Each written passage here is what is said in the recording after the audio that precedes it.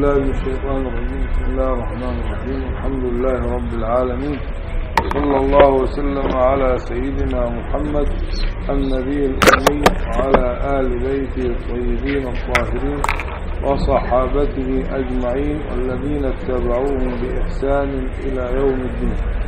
ربنا لا تزغ قلوبنا بعد إذ هديتنا وهب لنا من لدنك رحمة إنك أنت الوهاب. ربنا إنك جامع الناس ليوم لا ريب فيه إن الله لا يخلف الميعاد وبعد. وصلنا عند قوله رب العالمين. الحمد لله والصلاة والسلام على الحمد لله رب العالمين. قوله رب العالمين أشعر كده؟ أشعر بأن التربية كلها وهي إيصال كل حادث إلى كماله الذي أريد له. ده العبارة اللي عندك اللي إحنا كنا فيها ولا غيرها؟ ها؟ والفين.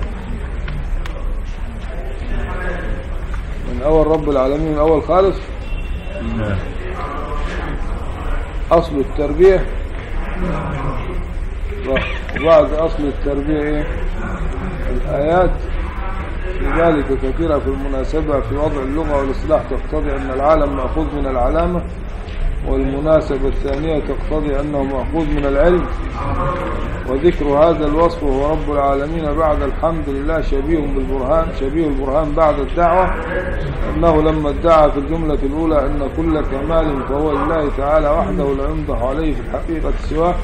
وقد عرفت أن الكمال إما قديم وإما حادث أتى بما يدل على أن كلا الكمالين له تعالى بمعنى أن الأول وصفه والثاني فعله والدليل على ذلك العوالم لأنه قد قام البرهان القطعي على حدوثها من جهة تغيرها الذي آذنت به التربية المأخوذة من لفظ رب ومن جهة احتياجها إلى المخصص في اختصاصها بعض ما تقبله من مقدار وصفة وغيرهما. ها هنا. طيب. وقد أشعر أيضا بالاحتياج إلى المخصص الإتيان بالجمع في العالمين. نرجع إلى كلمة شبيه وذكر هذا الوصف. وهو رب العالمين بعد الحمد لله. شبيه البرهان بعد إيه؟ بعد الدعوة. أين هي الدعوة؟ ادعى في الجملة الأولى إيه؟ أن كل كمال فهو لله تعالى وحده. لا يمدح عليه في الحقيقة سواه. والكمال إما قديم وإما حادث. فأتى بما يدل على أن كلا الكمالين له تعالى يعني القديم والحادث. القديم لماذا؟ لأنه وصفه. والحادث لأنه إيه؟ بمعنى أن الأول وصفه والثاني فعله. والدليل على ذلك العوالم لأن العوالم إيه؟ حادثة ولا قديمة. حادثة لأنه قد قام البرهان القطعي على حدوثها فما هو البرهان القطعي الذي قام على حدوث العوالم أو على حدوث العالم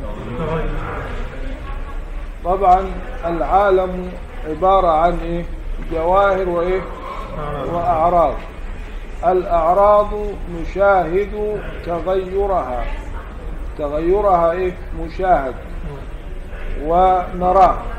شيء مرئي وإيه؟ ومشهود. أما الجواهر فكيف عرفنا أنها حادثة؟ نعم. الإيجاد. آه وجودها حدوثها وجو حدوثه وجوده بعد. يتحرك من غير ما تسألني. حدوثها إيه؟ دليل إيه؟ تغيرها أنها إيه؟ تنقلب من وجود إلى عدم والعكس. ده دليل إيه؟ دليل حدوثها إنما بالنسبة للجواهر ملازمة الأعراض لها وكل ما لازم الحادث فهو إيه؟ فهو حادث. قام البرهان القطعي على حدوثها من جهة تغيرها. الذي آذنت به التربية المأخوذة من لفظ رب أن قلنا التربية معناها إيه؟ معنى التربية في أصلها إيه؟ اللي هي نقل شيء ها؟ نقل شيء نقل الشيء يعني تهذيبه وإعداده وإصلاحه من حال إلى حال إيه؟ آخر أكمل وأحسن فالتربية تشعر بمعنى إيه؟ ها؟ بمعنى الحدوث تؤذن به. فكلمة رب معناها أنه هو الذي يربيها يعني يغيرها من حال إلى إيه؟ إلى حال أحسن. ومن صفة إلى صفة أكمل. ومن شأن إلى شأن. هكذا. كل يوم هو إيه؟ في شأن. فكلمة رب الذي آذنت به كلمة التربية المأخوذة من لفظ من لفظ رب ومن جهة احتياجها إلى المخصص في اختصاصها الله الله؟ قربت التسجيل انت قربت الميكروفون اتفضل يا دكتور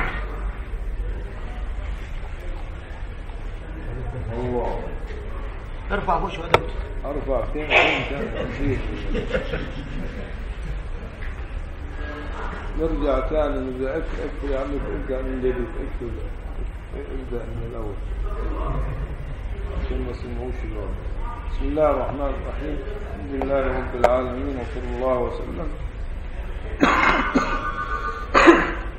أعوذ بالله من الشيطان الرجيم. بسم الله الرحمن الرحيم. الحمد لله رب العالمين.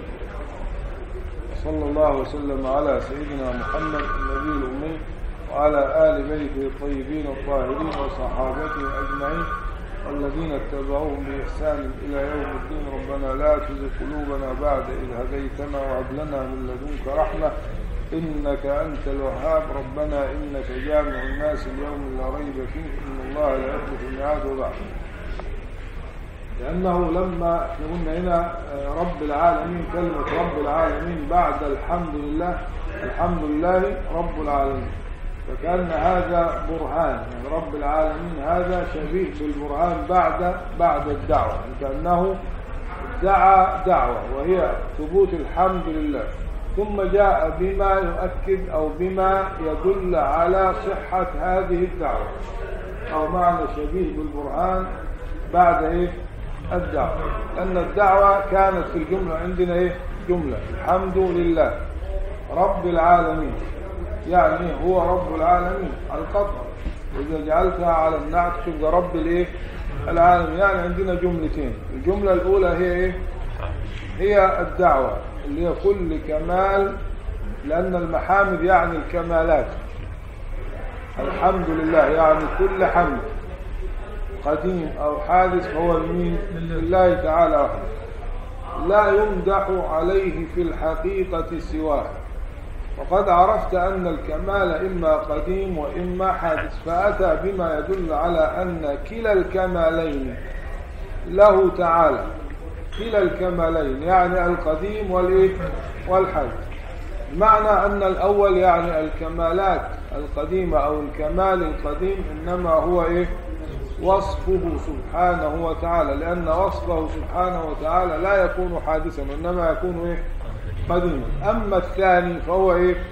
فهو فعله. ما هو الثاني؟ الدليل على الثاني هو إيه؟ هو تغير العوالم. هو هذا العالم الحادث لأنه قد قام البرهان القطعي على حدوثها من إيه؟ من جهتين. من جهة تغيرها ومن جهة احتياجها إلى المخصص. فين الجهة الأولى؟ الجهة الأولى التي هي التغير آذنت بها التربية المأخوذة من لفظ رب. لأن رب معناه إيه؟ التربية الانتقال. ينتقل بك المربي من حال والانتقال معناه إيه؟ التغير. فهذا أخذناه من هذه الجهة. والجهة الثانية جهة احتياجها إلى المخصص في اختصاصها ببعض ما تقبله من مقدار وصفة وغيرهما. الجهة الثانية جهة إيه؟ ها؟ ما هي الجهة الثانية؟ احتياجها احتياجها راجع لمين؟ ها للعوالم.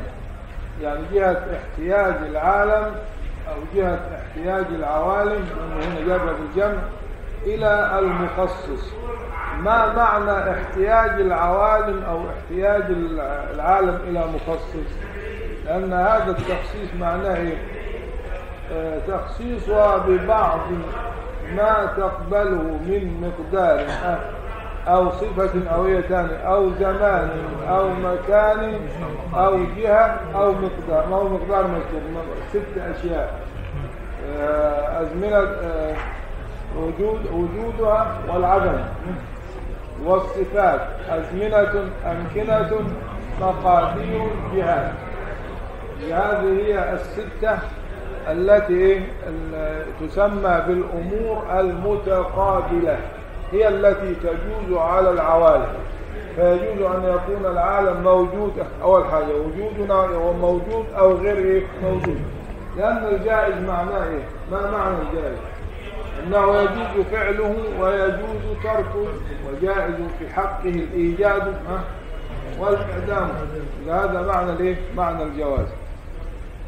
ومن جهة احتياجها إلى المخصص في اختصاصها ببعض ما تقبله من مقدار يعني ما تقبله من مقدار دون مقدار آخر أو بصفة دون صفة أخرى أو بزمان دون زمان. يعني أول شيء إما أن يخصها بالوجود دون العدم أو العكس. أو بمقدار دون مقدار أو بصفة دون صفة أو زمان دون زمان أو مكان دون مكان إلى آخره. واضح المشاهد من يقرأ.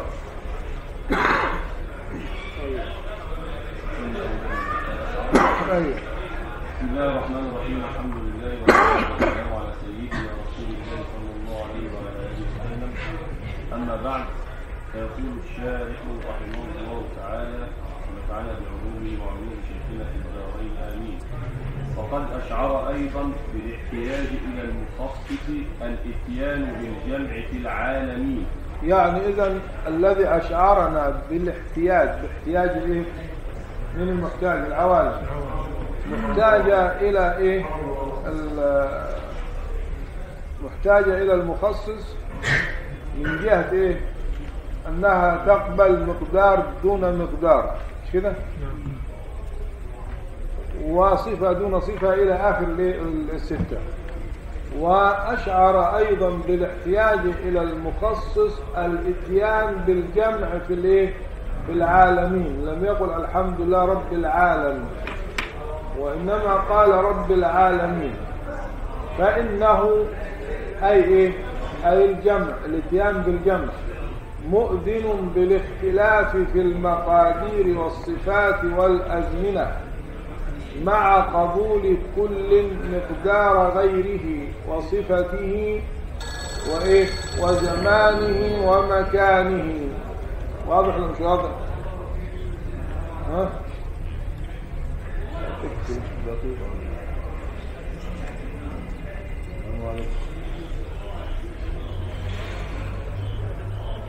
انت يا شيخ اسامه من الوقت ده نصلي العشاء ونجي نصلي العشاء ان شاء الله انت المغرب ماشي دعوات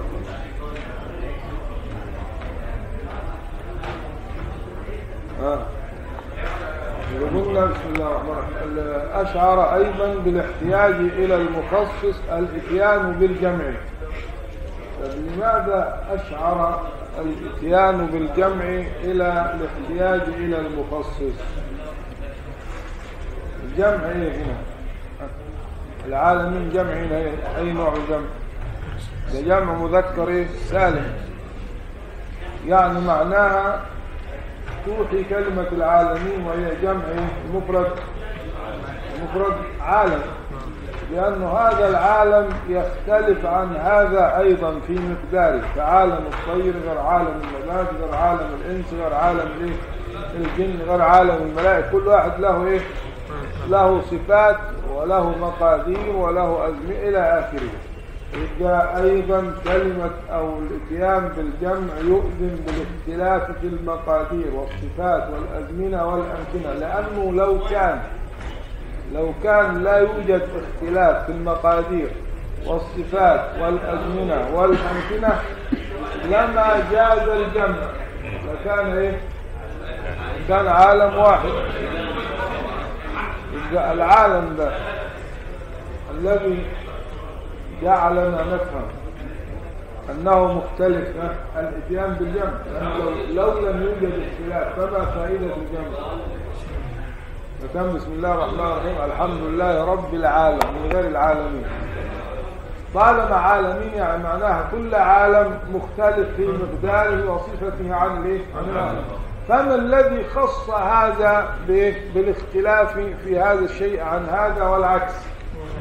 فأيضا أشعر بالاحتياج إلى المخصص الإتيان بالجمع. الإتيان بالجمع عرفنا أن هناك حاجة إلى المخصص. واضح؟ وقد أشعر أيضا بالاحتياج إلى المخصص الإتيان بالجمع في العالمين فإنه مؤذن بالاختلاف في المقادير والصفات والأزمنة والأمكنة مع قبول كل مقدار غيره وصفته وزمانه لا لا مش كده القراءة. مع قبول كل. مع ما قبول ينفعش تقول يعني مع يعني مش عارف القراءة السليمة تضبط المعنى. لو انت قلت مع قبول كل مقدار جاي المعنى فهمت حاجة؟ مع قبول كل يعني كل عالم من هذه العوالم مقدار غيره وصفته وزمانه ومكانه. يعني العالمين مثلا في أيام سيدنا موسى العالم. كان ممكن يقبل مقدار العالم اللي في عصرنا هذا وصفاته وزمانه. وأحواله إلى آخره. والعالم أيضا الذي نعيش فيه كان ممكن يقبل نفس الصفات فما الذي خص هذا بغير ما خص به هذا؟ يبقى القراءة كده مع قبول إيه؟ كل بال- بالتنوين. يعني كل عالم التنوين هنا عوض عن إيه؟ عن التنوين اما يكون عوض عن حرف أو عن كلمة أو عن جملة. فالتنوين هنا عوض عن إيه؟ عن كلمة يعني مع قبول كل عالم. مقدار غيره يعني مقدار العالم الايه الآخر. ما دام ده كان ممكن يكون مثل هذا أو يقبل مقداره أو صفته فما الذي خصه بهذا المقدار دون الآخر؟ هذا احتياج إلى المخصص أو لا؟ لا. يقول كده مع قبول كل. مقدار غيره. يعني كل عالم يقبل يقبل في ذاته أن يكون على مقدار العالم الآخر. يعني مثلا جعل الله لعالم الإنس خصائص ليست لعالم الجن مع أنه ممكن عالم الجن كان يكون على خصائص الإنس ونكون إحنا على خصائص عالم؟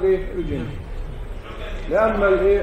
المختار فخص عالمهم بأنهم يكونون في وضع يروننا ولا نراهم. وجعلنا في العكس. ممكن ربنا كان يخلينا إحنا آه نشوفهم وهم اللي اللي ما يشوفوناش.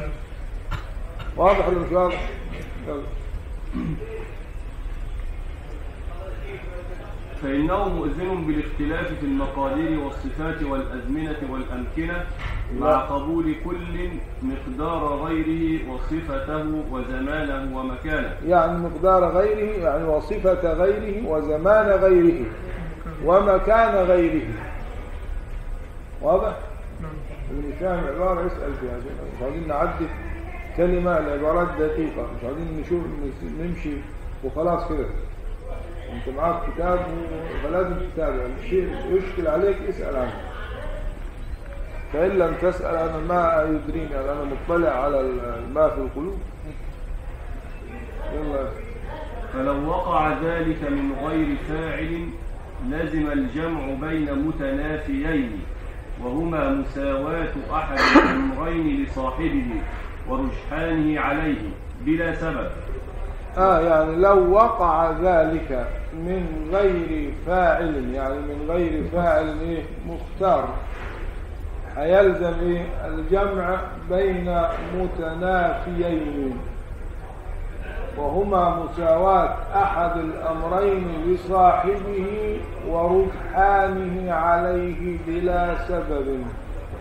يعني إيه إيه المتنافيين هنا؟ ما هما الأمرين المتنافيين يقول لك لو لو إيه لو وقع هذا هذا يعني هذا يعني اختلاف العوالم في مقاديرها ها، وأزمنتها وأمكنتها وجهاتها إلى آخره لو كان ذلك من غير فاعل حيلزم إيه؟ الجمع بين نقيضين نقيضين يعني هم هم لأن النقيض النقيضين هما إيه؟ أمران إيه؟ أحدهما وجود والآخر إيه؟ عدم. بينه بينهما إيه؟ غاية التنافي. زي الضدين برضو بينهما غاية؟ التنافي. يعني حيلزم الجمع بين متنافيين يعني بين نقيضين. فما هما الأمران المتنافيان اللي حيكون في جمع بينهما وهو محال ما هما؟ لا مش الوجود والعدم. ما هو ذكرهما. قال وهما لم يقل الوجود والعدم. كيف تقول شيئا ما قاله الشيخ؟ قال لك بين أمرين بين متنافيين. قال إيه؟ وهما إيه؟ مساواة أحد الأمرين ورجحانه عليه بلا سبب. يعني الأمرين المتنافيين مش هما الوجود والعدم. هما المساواة والرجحان. بلا سبب. يعني حيكون في مساواة وما فيش مساواة. إيه نفي المساواة هو إيه؟ هو الرجحان. ما هو لو شيء رجح على شيء. هيبقى الراجح غير مساوي للإيه؟ للمرجوح ولو ما فيش آه، رجحان هيبقى في إيه؟ في مساواة. واضح ولا مش واضح؟ يبقى الأمرين المتنافيين هما المساواة وعدم المساواة هو الرجحان بلا سبب. فإذا رجح أحدهما على الآخر انتفت المساواة. وإذا لم يرجح ثبتت المساواة. يبقى كيف تكون مساواة ولا مساواة في وقت واحد؟ هذا هو الإيه؟ هو المحال. يبقى هيلزم شيء من اللي هو إيه؟ مساواة. أحد الأمرين لصاحبه ورجحانه عليه بلا سبب لأنه الرجحان أو الترجيح القاعدة العقلية يقول لك إيه؟ لا ترجيح إلا بمرجح. يعني لو ما فيش فاعل أول حاجة في العالم إيه؟ أن يكون العالم ما هو ممكن أن يكون موجود أو يكون معدوم. كده؟ والوجود والعدم بالنسبة له. في ذاته متساويان. يعني ما فيش واحد فيهم أرجح. فلما وجد العالم من غير فاعل حيلزم إيه؟ حيلزم الترجيح من غير مرجح. والترجيح من غير مرجح معناه إيه؟ معناه وجود عدم المساواة مع وجود المساواة لأنه هو في إيه؟ في ذاته ممكن ولا يرجح طرف على آخر إلا إيه؟ بمرجح. فحيجتمع فيه المساواة والترجيح. وإذا قلنا المساواة انتفى الترجيح. وإذا قلنا الترجيح انتفت الإيه؟ فحيلزم الجمع بين أمرين. قلنا كده وجوده وعدمه سواء. فلا بد من فاعل فاعل مخصص يخصه بالوجود دون لا بد من مرجح. يرجح أحد الأمرين على الآخر. إنما إحنا قلنا ما فيش مرجح يبقى يبقى حاجة فيه مساواة وفي نفس الوقت العالم موجود حاجة فيه ترجيح. إذا جمعنا بين متنافيين أو لا اللي هو المساواة وعدم الإيه؟ المساواة. اللي هي إيه؟ عدم المساواة الرجحان أو الترجيح من غير مرجح. مفهوم ولا مش مفهوم؟ مش مفهوم يسأل. مفهوم يا مولانا؟ ها؟ بقول لك مفهوم يقول لك ادعي لي بقول لك مفهوم. لا قول إيه وذلك معلوم الاستحالة. ما فإذا هو المعلوم الاستحالة؟ ها؟ الترجيح بغير مرجح أو مساواة اجتماع المساواة مع عدم المساواة. وهو إيه معنى المساواة؟ إنه ده مساوي ده يعني ما ده مش لا لا هذا يرجح ولا هذا يرجح. ولا بد من إيه؟ من فاعل. طب ما فيش فاعل. ووجد العالم من غير فاعل. يبقى جمعنا بين متنافيين. مش فقط في وجوده وأيضا في اختصاصه ببعض الصفات. دي إيه اللي خلاه خص بهذا المقدار وبهذه الصفات وبهذه الامكنه لابد أن يكون إيه؟ مرجح. غير الإيه؟ نفس يلا.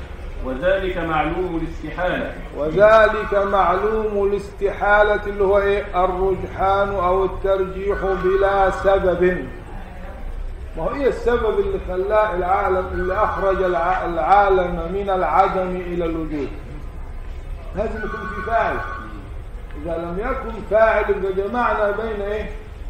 المساواة وعدم إيه؟ وعدم المساواة. فإذا هذا الوصف وهو رب الع... وهو رب العالمين مؤذن بحدوث جميع العوالم من جهة المضاف آه يعني هذا الوصف نقول الحمد لله رب العالمين. مؤذن يعني مشعر بحدوث جميع العوالم من جهة المضاف. فين المضاف؟ يعني عاوز يقول لك هذا الوصف رب العالمين يؤذن بأن جميع العوالم أحدثها المضاف اللي هو رب. والعالمين ده المضاف إليه. يعني عاوز يقول لك المضاف هو اللي أوجد المضاف إليه. هو الذي أحدثه. من جهة الايه المضاف. وعقول من جهة المضاف إليه. تبقى مصيبة. من جهة الايه المضاف. اللي هو إيه؟ رب في مضاف. في مضاف إيه؟ إليه يلا. فإذا هذا الوصف وهو رب العالمين مؤذن بحدوث جميع العوالم من جهة المضاف لإشعاره بعموم التربية عرفت للعوالم. عرفت المضاف يعني إيه؟ يعني رب. لإشعاره. يعني اللي هو إيه؟ اللي هو المضاف. اللي هو لفظ رب. لإشعاره بعموم التربية للعوالم المستلزمة للتغير في جميعها لأن كونه كونه تعالى رب العالمين يعني يربيها وينقلها من حال إلى حال فهذا يشعر بأن العوالم في تغير دائم ولا ثبات ولا دوام إلا للمضاف. مش المضاف إليه. فالعالم في تغير دائم. وتشعر كلمة رب بهذا إيه بثبوت هذا التغير للعالم للعالم كله. من فرشه إلى إيه إلى عرشه. لإشعاره بعموم التربية للعوالم المستلزمة للتغير في جميعها. لماذا استلزمت التغير؟ ها؟ ها؟ ليه؟ لأنها حادثة. فالذي لا يتغير هو إيه؟ هو القديم. وهو دليل على الحدوث والافتقار للمحدث. وهو دليل. هو يرجع إلى إيه؟ التغير. يبقى هو يعني إيه؟ التغير. وهو لأنه لأنه كيف عرفنا أن العالم متغير؟ انظم الدليل منطقيا. العالم متغير وكل متغير حادث وكل حادث لا بد له من محدث. هذا هو الدليل. يبقى التغير ده دليل على الحدوث. فلا بد أن نأتي بهذه المقدمة أولا. الصورة العالم متغير وكل متغير. يبقى الدليل على الحدوث هو إيه؟ ها؟ وحاجة ثانية. وأنه مفتقر إلى محدث. يعني الدليل أنه متغير. متغير يعني موجود بعد عدم. وهذا نشا- نشاهد تغير الأعراض في كل لحظة. ثم نعلم لأن التغير ده من وجود إلى عدم والعكس. يؤذن بإيه؟ لأنها في احتياج دائم. ودليل دليل الاحتياج ده موجود في القرآن الكريم. وأيضا دليل الحدوث. أشار القرآن الكريم إلى دليل الإيه؟ الحدوث. في قوله تعالى مثلا كما بدأنا أول خلق إيه؟ نعيده ودليل الاحتياج في قوله تعالى والله الغني. وأنتم الفقراء. والله تعالى وحده هو إيه؟ هو المستغني. وجميع ما عداه مفتقر يعني محتاج إليه. وهذا الاحتياج هو سمته وصفته لا ينفك عن الايه؟ عن الحادث ابدا. هو محتاج إلى الله تعالى بصفة دائمة. يعني معناها لا يخرج موجود في العالم عن وصف الاحتياج. ما معنى الاحتياج؟ الاحتياج في إيجاده والاحتياج في إمداده. يعني في إيجاده ثم في أسباب بقائه. يعني هو محتاج إلى الله تعالى دائما. فلا يمكن أن يستغني عن الله تعالى أبدا. أو معنى ليه؟ الاحتياج. وهو دليل على الحدوث والافتقار للمحدث ومن جهة المضاف إليه أيضا لإشعاره. بسبب جمعيته وعمومه باختلاف أصناف العوالم وأنواعها وأجناسها في مقاديرها وصفاتها وأزمنتها وأمكنتها وجهاتها مع قبول مادة كل واحد منها لما حصل لغيره. وذلك يستلزم حدوثها وافتقارها. تستلزم حدوثها. وذلك يستلزم حدوثها وافتقارها إلى المخصص. آه يعني إيه هنا بيقول إيه هنا؟ وهو رب العالمين مؤذن وبعدين بيقول هنا وهو دليل والتغير على الحدوث والافتقار للمحدث. ومن جهة المضاف إليه هنا هننتقل الكلام هنا إيه؟ الأول جهة المضاف المضاف اللي هو إيه؟ رب. والمضاف إليه اللي هو العالم. هندخل في جهة المضاف إليه. جهة المضاف إليه قلنا هنا إيه؟ العالم. مش كده؟ عندنا مضاف ومضاف إليه. وهذا من من من إيه؟ غاية الدقة في المعنى. ليه؟ لأن كون الله تعالى ربا. آه، كده رب العالمين. كونه تعالى رب. يفهم منه إيه؟ يفهم أن ما عداه مربوب. كده؟ ومربوب يعني إيه؟ مين ما عداه؟ ما عداه يعني إيه؟ يعني العالم. ما هو العالم كل ما سوى الله تعالى. ما دامت هو تعالى وحده رب. قل أغير الله إيه؟ أبغي رب. في رب غيره؟ يبقى هو وحده الرب. يبقى معناها كل ما عداه أو كل ما سواه مربوب. اللي هو مين؟ العالم. وما دامت مربوب يعني في تغير مستمر. ما أصل كلمة رب يعني معناها إيه؟ بيربيه ينقل من حال إلى حال من حال إلى حال بصفة إيه؟ مستمرة. مفيش حاجة اسمك أنت إيه؟ خدت كمال التربية. ده أنت على طول يعني يعني معناها مثلا هو هيربيك معناه ويربي التربية دي مثلا لما أنت تربي ولد مثلا أو تربي أي شيء خمس سنين عشر لحد ما يتربى إنما في تربيته تعالى العالم استمرار دائم ما فيش انقطاع للتربية فهذا دليل على أن العالم مفتقر بصفة إيه؟ دائمة فيفهم منه وجوب حدوث العالم إيه؟ باستحالة التسلسل ولزوم الحدوث مما إيه؟ بينته وكون العالمين ده جمع دليل على حدوث كل ما سوى الله تعالى فليس العالم قديما بمادته كما يزعمه قول ولا قديم بنوعه كما زعم آخرون بل العالم حادث بمادته وصورته كما قرره علماء أهل السنة. الفلاسفة عندهم أو الذين تأثروا بهم أن العالم قديم بالمادة ها؟ وحادث بالايه بالصور والأشكال لكن المادة إيه؟ قديمة. أو قديم بنوعه ها؟ وحادث بايه بأفراده. ولا يوجد النوع إلا في ضمن الايه الأفراد. العبارة دي دقيقة جدا. يفهم منها إنه المضاف إليه اللي هو العالم لإشعاره بجمع بسبب جمعيته. وعمومه باختلاف أصناف العوالم وأجناسها في مقاديرها وصفاتها وأزمنتها وأمكنتها وجهاتها. اللي هم الأمور الايه الستة. اللي هم إيه؟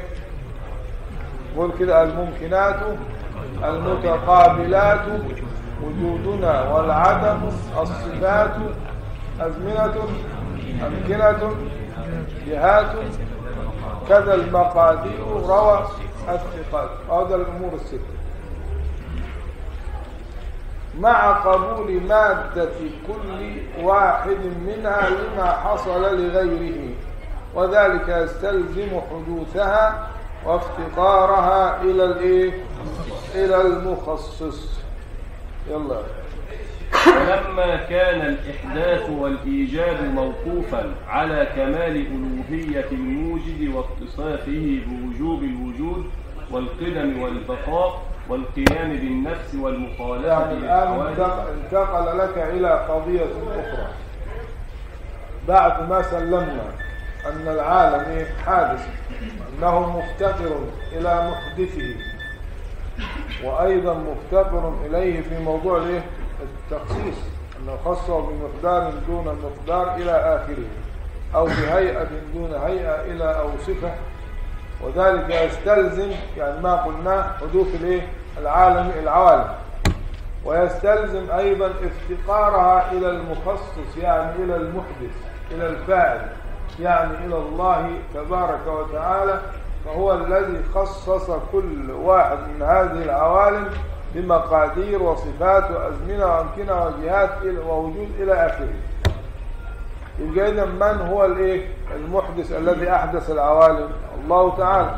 فلما كان الإحداث الإحداث والإيجاد موقوفا على كمال ألوهية الموجد يعني معناها الإحداث والإيجاد ده متوقف على أن المحدث أو الموجد يتصف بصفات الإيه؟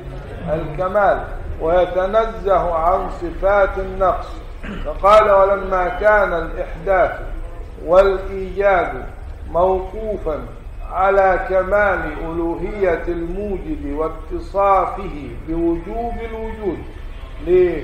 لماذا اتصافه بوجوب الوجود؟ ليه؟ لماذا هنا السياق؟ يقول لك موقوف على كمال ألوهية الموجد ماذا؟ وعلى اتصافه بوجوب الوجود لماذا؟ لماذا قال اتصافه بوجوب الوجود؟ لأنه لو لم يتصف بالوجود الواجب لكان إيه لكان حادثا ولو كان حادثا لاحتاج إلى محدث ويتسلسل الأمر فاما أن نعود إلى الأول فيكون إيه؟ دور. وإما أن يتسلسل إلى ما لا نهاية فيسمى إيه؟ بالتسلسل. يبقى معناها كده لازم يكون محدث العالم واجب الوجود. إيه معنى واجب الوجود؟ يعني ليس ممكن الوجود وليس جائز الوجود. لأنه لو كان ممكن الوجود أو جائز الوجود لافتقر أيضا إلى إلى المخصص. ولا احتاج إلى الموجد هو نفسه. فمن الذي لا يحتاج إلى مخصص أو إلى موجد هو واجب الوجود واجب الوجود لأن الواجب والذي لا يتصور في العقل؟ عدم أو هو الثابت الذي لا يقبل الانتفاء الله. ولما كان لا لسه. واتصافه بوجوب الوجود والقدم. خد بالك يعني هنا أي واحد يسأل سؤال يقول لما إذا اتصف تعالى أو إذا اتصف محدث العالم بأنه واجب الوجود يلزم من هذا أن يكون قديما وإذا ثبت القدم يلزم البقاء لأنه إيه؟ كل ما ثبت قدمه استحال عدمه يبقى لازم يكون باقي ويلزم أن يكون قائما بنفسه وأن يكون مخالفا للحوادث وأن يكون واحدا إلى آخره فلماذا كان التفصيل مع أن كل ما بعد كلمة واجب الوجود يعتبر إيه؟ ها؟ من المستلزمات لوجوب الإيه؟ الوجود. لماذا؟ لأن هنا بيان وتفصيل لا يغني فيه الإجمال. يعني هنا لا بد من التفصيل. يعني عاوز يقول لك واجب الوجود هنا كأنه بيشرح ليه يعني لو قال واجب الوجود وأنت تفهم أحكام الواجب الوجود هتقول كده. لابد أن يكون واجب الوجود قديما وباقيا إلى آخره. ولكن يريد أن يشرحها لك. فيقول لك وجوب الوجود ده يستلزم القدم والبقاء والقيام بالنفس والمخالفة للحوادث لأنه لو لم يكن مخالفا للحوادث لكان مثلها ولو كان مثلها وهي ليست واجبة الوجود لكان إيه؟ جائز الوجود إلى آخره. هذا اسمه إيه؟ تفصيل لبيان الإيضاح. وإن كان كله يلزم من كلمة إيه واجب الوجود ولما كان الإحداث والإيجاد موقوفا على كمال ألوهية الموجد واتصاف واتصافه بوجوب الوجود والقدم والبقاء والقيام بالنفس والمخالفة للحوادث والوحدانية والحياة وعموم القدرة والإرادة لجميع الممكنات وعموم العلم لجميع الواجبات خد بالك لازم لازم لازم نفصل في القرآن. والمخالفة للحوادث الوحدانية والحياة وعموم القدرة والإرادة لجميع الممكنات. إذا إذن هنا كلمة لجميع الممكنات هترجع ليه؟ مش للمخالفة وللوحدانية هترجع لحاجتين بس. القدرة والإرادة. هو عموم يعني كأنك تعمل كده على شرطة كده يعني بعد كلمة الحياة شرطة كده وعموم القدرة. والإرادة لجميع الممكنات. إيه معنى عموم القدرة والإرادة لجميع الممكنات؟ ها؟ يعني القدرة ها؟ صالحة لأن توجد أي ممكن عامة عامة. يعني معناها لا نخصصها بممكن دون ممكن. أي ممكن. خلاص كده؟ بس لماذا إذا كانت القدرة عامة التعلق؟ فلماذا لم يوجد الحق سبحانه وتعالى كل الممكنات؟ أولا الممكنات لا تتناهى. فهذا السؤال أن نقول لماذا لم يوجد كل الم... لأن الممكنات لا تتناهى. فما من ممكن إلا ويفترض العقل إيه؟ غيره وممكنا آخر وهكذا إلى ما لا نهاية. إذا فلا بد من التخصيص وهو عمل الإرادة. بمعنى أن الإرادة هي التي خصصت بعض الممكنات بالوجود دون الممكنات الأخرى. إذن القدرة عامة التعلق. والإرادة أيضا عامة التعلق تخصص كل إيه؟ كل ممكن. واضح؟ وعموم القدرة والإرادة لجميع الممكنات وعموم العلم لجميع الواجبات يعني والجائزات عموم القدرة والإرادة لجميع الإيه؟ الممكنات. فتعلق القدرة وتعلق الإرادة بيكون بإيه؟ ها؟ بيكون بالممكن. أما تعلق العلم مش بالممكن بالممكن والواجب والمستحيل. بالممكن والواجب والمستحيل. وعموم العلم؟ وعموم القدرة والإرادة لجميع الممكنات وعموم العلم لجميع الواجبات والجائزات والمستحيلات لزم أن كل حادث يدل على وجوب هذه الكمالات لمولانا آه، جل وعلا تكلمت أيوه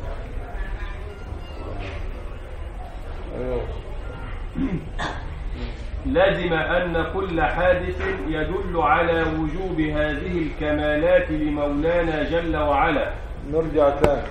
ولما كان الإحداث والإيجاد خليكم معايا عشان نتابع. موقوفا على كمال ألوهية الموجد واتصافه بوجوب الوجود والقدم والبقاء والقيام بالنفس والمخالفة للحوادث والوحدانية والحياة وعموم القدرة. والإرادة وعموم العلم. كم صفة دول؟ ها؟ كم دول؟ حد فيكم آه، فكر يعدهم؟ ها؟ عشرة. واحد يقول لي 10 واحد يقول لي 7 واحد أنا لازم اعيد وأنا بنفسي عشرة. يعني أول حاجة إيه؟ وجوب الوجود واحد. تمام كده؟ القدم. والبقاء. قيام بالنفس. مخالفة. كم؟ خمسة. خمسة الوحدانيه ستة. الحياة. سبعة. قدرة. سبعة. الإرادة. تسعة. تسعة. التسعة دول يسموهم إيه؟ دول يتوقف عليها الفعل. يعني خد من الصفات تسع صفات. يتوقف هتاخد من ال هتاخد صفة من هتاخد الصفات السلبية هتاخد منها كام؟ هتاخد منها أربعة أربعة من السلبية. أو خمسة يعني اللي هي الوحدانية لو خدت خمسة يبقى هتاخد الوحدانية. وبعد كده هتاخد من المعاني كام؟ هتاخد كام من المعاني؟ العلم والقدرة والحياة والإرادة. هتاخد أربع من المعاني. يبقوا تسعة. هذه التسعة يتوقف عليها الفعل. إيه معنى يتوقف عليها الفعل؟ يعني يتوقف عليها الخلق. يعني لا يكون تعالى موجدا ومحدثا لهذا العالم إلا إذا يعني الخلق والإيجاد والإحداث يتوقف على التسعة يعني لا يتوقف وجود العالم على صفة الكلام ولا يتوقف وجود العالم على السمع والبصر إنما يتوقف وجود العالم على وجود الله وعلى قدمه وعلى بقائه. وعلى قيامه بالنفس وعلى مخالفته للحوادث وعلى كونه قادرا ومريدا وعالما وحيا. يبقى دي إيه؟ الصفات اللي هي اللي بيسموها المعجزة أو الفعل يتوقف عليها. يتوقف المعجزة تتوقف على هذا.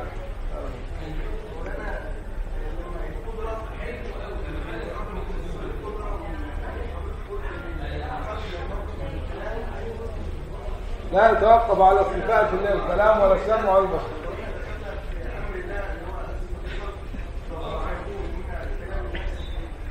لا ال- ال- ال- الكون كون- كن فيكون هذا بعض الناس يظن يظن كده. كن يعني يكون بها الإيجاد لا. الإيجاد ده أثر القدرة. الإيجاد يعني الفعل ده. القدرة صفة إيه؟ التاثير الله تعالى. إذا تعلقت بقدرته بإيجاد شيء اوجده ما فيش حاجة اسمها إيه؟ كن وال, وال... آه لا. لأن الإيجاد يكون بال... يكون بالقدرة لا بالكلام. امال هي معنى ال ال مثلا قوله تعالى إنما أمره إذا أراد شيئا أن يقول له كن. فهو لا يتكون الشيء بالكلام يعني بالخطاب وإنما يتكون بقدرة الله تعالى. وللإجماع للإجماع على أن الكلام ليس صفة تأثير. ده اجماع لأن الكلام صفة إيه؟ دلالة وليس صفة إيه؟ صفة تأثير. وإنما قال المحققون إن هذا تمثيل لسرعة الإيجاد إيجاد القدرة للإيه؟ للكائنات. عبارة أن ربنا ما يديك صورة يعني أسرع ما يقال كن فيكون.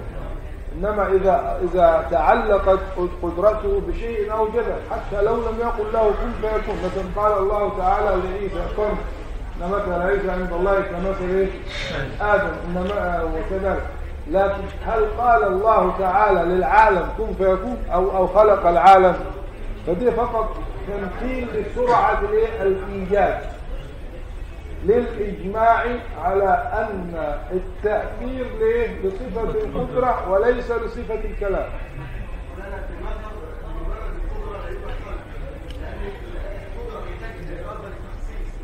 ما هو ما إيه القدرة مش تحتاج إلى فيش صفة تحتاج إلى صفة. لأنك لو قلت أن الصفات فيها احتياج لهذا أشعر لأشعر هذا بحدوث الصفات. والصفات كلها قديمة فلا يقال في صفة. نعم؟ ولا ذهني. هو هي ت- اسمه ترتيب ذهني للتعقل بأن القدرة توجد ما خصصته الإرادة فقط ولا دخل لصفة الكلام بالموضوع. الكلام تدل على على على قدرته وعلى ذاته وعلى علمه وعلى أفعاله وعلى أمره وعلى نهيه. هذا ما هذه صفة الكلام. الكلام صفة دلالة. دلالة إما يكون أمر أو نهي أو خبر أو إخبار أو استفهام. وليس فيها إيه؟ آه، ال- ال- الإيجاد والإعدام ده؟ للقدرة فقط. أما الإرادة تخصيص.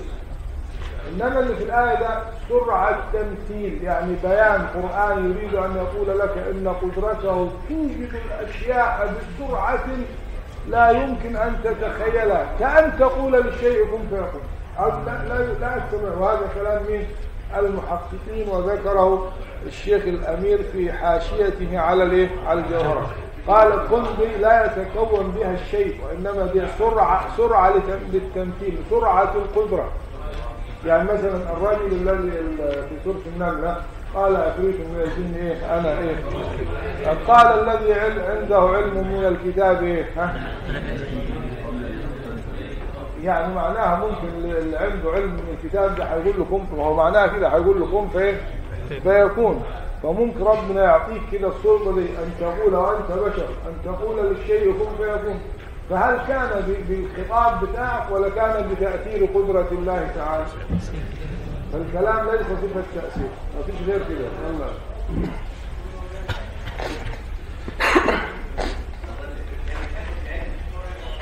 وعموم القدرة والإرادة لجميع الممكنات وعموم العلم لجميع الواجبات والجائزات والمستحيلات لزم أن كل حادث يدل على وجوب هذه الكمالات لمولانا جل وعلا. لزم أن كل حادث يدل أه على إيه؟ على- لا على أن له محدث. وعلى أن محدثه لا بد أن يتصف بهذه الكمالات. اللي قلناه إلى آخره. وبالجملة فالعوالم بعد أن تقرر وجوب حدوثها وافتقارها إلى مولانا جل وعلا شهدت بأن كل كمال قديم هو وصف هو وصفه تعالى لتوقف حدوثها على اتصاف مولانا جل وعز بذلك الكمال. وشهدت بأن كل كمال حادث هو فعله لما شا... لما شهد. وبالجملة فالعوالم بعد أن تقرر وجوب حدوثها. خلاص كده؟ يعني العالم يجب له يجب له الحدوث مش يجوز. يعني لو قلت يجوز يعني معناها كأنك تجوز أو ما فيش مانع أنه العالم يكون غير حادث. لكن الحدوث بالنسبة للعالم واجب كما أن القدم بالنسبة لمولانا تعالى واجب. يبقى هو بالجملة آه وبالجملة فين وبالجملة رحمة وبالجملة فالعوالم.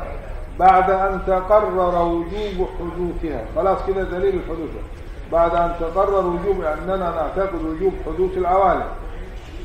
لا مجرد خد بالك يعني اوعى تعتقد يعني يعني هل يكفي هل يكفي أن تعتقد أن العالم حادث؟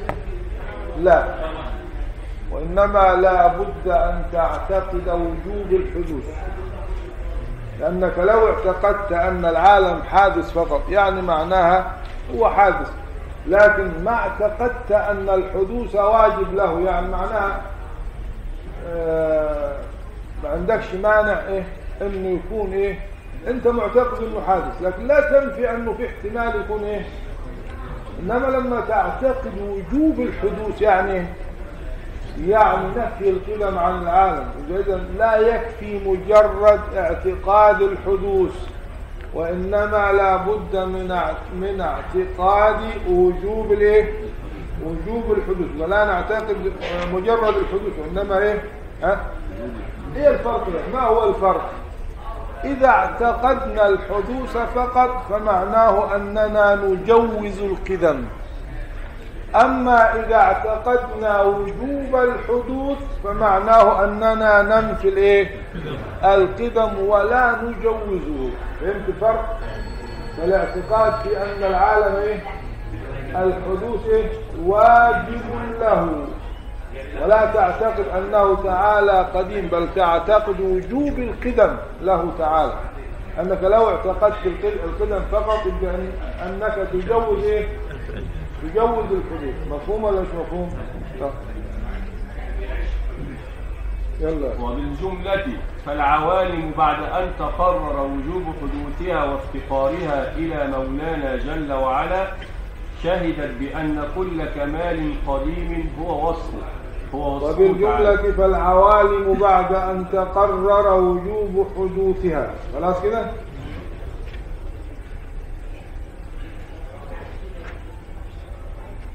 وافتقارها يعني ووجوب افتقارها لازم تقدر كلمة إيه ووجوب واحد اللي مجموع عشان معطوفة. ووجوب افتقارها إلى مولانا جل وعلا.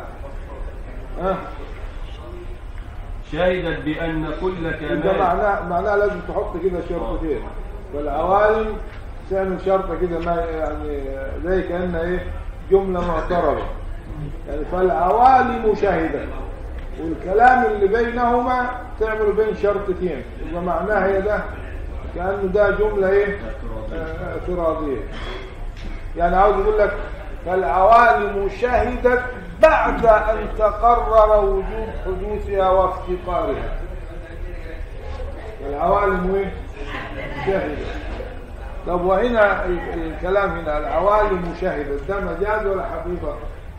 انه اللي- اللي بيشهد هو الايه العاقل المكلف. إنما العوالم مثلا جماد ونبات.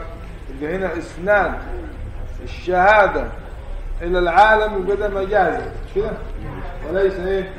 وليس حقيقة. أو أو أو نقول من باب الاستعارة. يعني نقول شهد شهدت بمعنى دلت. شهد بمعنى إيه؟ بمعنى دلت. يعني إذا حملناها على الحقيقة يبقى ده مجاز عقلي لأنك أسندت الشيء إلى غير ما هو له. أما إذا خليناها استعارة هنغير في الألفاظ بدل ما نقول شاهدة ليس بمعنى شاهدة وإنما بمعنى دل شاهدت يعني دلت.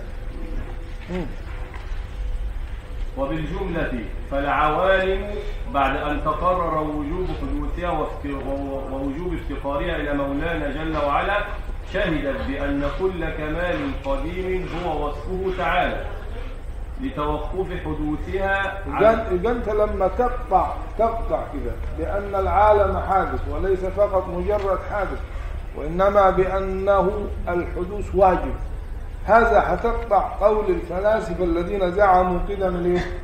العالم ولذلك الكلام اللي, اللي كفرهم الإمام الغزالي بسببه بثلاثة؟ كفر الفلاسفة العدى إذ أنكروها وهي حق مثبتة علم بجزئي حدوث عوالم بعث لأجساد وكانت ميتة ثلاث ثلاث مسائل الإمام الغزالي حكم فيها بكفر الفلاسفة اللي هي إيه؟ إنكارهم إيه؟ حدوث الإيه؟ ال- العالم. وإنكار علم الله تعالى بالجزئيات وإنكارهم الحشر الإيه؟ الجسماني. يعني عندهم الحشر يكون للإيه؟ ل- روحاني وليس جسماني فالثلاثة دول كفروا بهذه الثلاثة. بثلاثة كفر الفلاسفة العدة. إذ أنكروها وهي حق مثبتة. علم أو علمه بجزئي حدوث عوالم بعث لأجساد وكانت ميتة. شهدت بأن كل كمال قديم. وهو إيه؟ تعالى آه. لتوقف حدوثها على اتصاف مولانا جل وعز بذلك الكمال. يعني العوالم ليس حدوثها متوقفا على وجود الله فقط وإنما متوقف على وجوده واتصافه بصفات الكمال. وشهدت بأن كل كمال حادث هو فعله لما شهدت به من وجوب الوحدانية لمولانا تبارك وتعالى. فقد شهدت إذن بأن المدح بكل كمال قديم أو حادث إنما هو لمولانا جل وعلا. طب وكيف نمدح بالكمال القديم؟ واحد من كده كيف نمدح به؟ يعني مثلا كان نقول الحمد لله. على إنها مش أنت اللي بتنشئ الحمد. على أنك تقرأ ما في كتاب الله وهو اللي في القرآن قديم. يبقى حمد الله تعالى لنفسه. قديم ولا حادث؟ قديم. يبقى أنت عندما تذكر هذه الكلمة يبقى معناها إيه؟ بتمدح الحق سبحانه وتعالى بكماله القديم. يعني بما مدح به نفسه. فيكون إنشاؤك ها، وثناؤك هو الحادث والمضمون قديم. زي انت لما تيجي تذكر ربنا كده تعمل حضر الذكر زي جماعة الدراويش تقول إيه؟ الله الله. أنت بتذكر مين؟ لا لفظك إيه ده؟ لفظك حادث. والمذكور قديم. يبقى ال- اللفظ حادث. وال- والذاكر حادث. والذكر نفسه حادث. إنما مين القديم؟ المذكور. هكذا. فاذا فإذا قلت الحمد لله يبقى أنت كده إيه؟ بمضمونها و- وإنما اللفظ نفسه والإنشاء فهو إيه؟ فهو حادث يبقى إيه؟ فقد شهدت. اذا مش كده ولا فقد شهدت؟ فقد شهدت. إذا بأن المدح بكل كمال قديم أو حادث إنما هو لمولانا جل وعلا.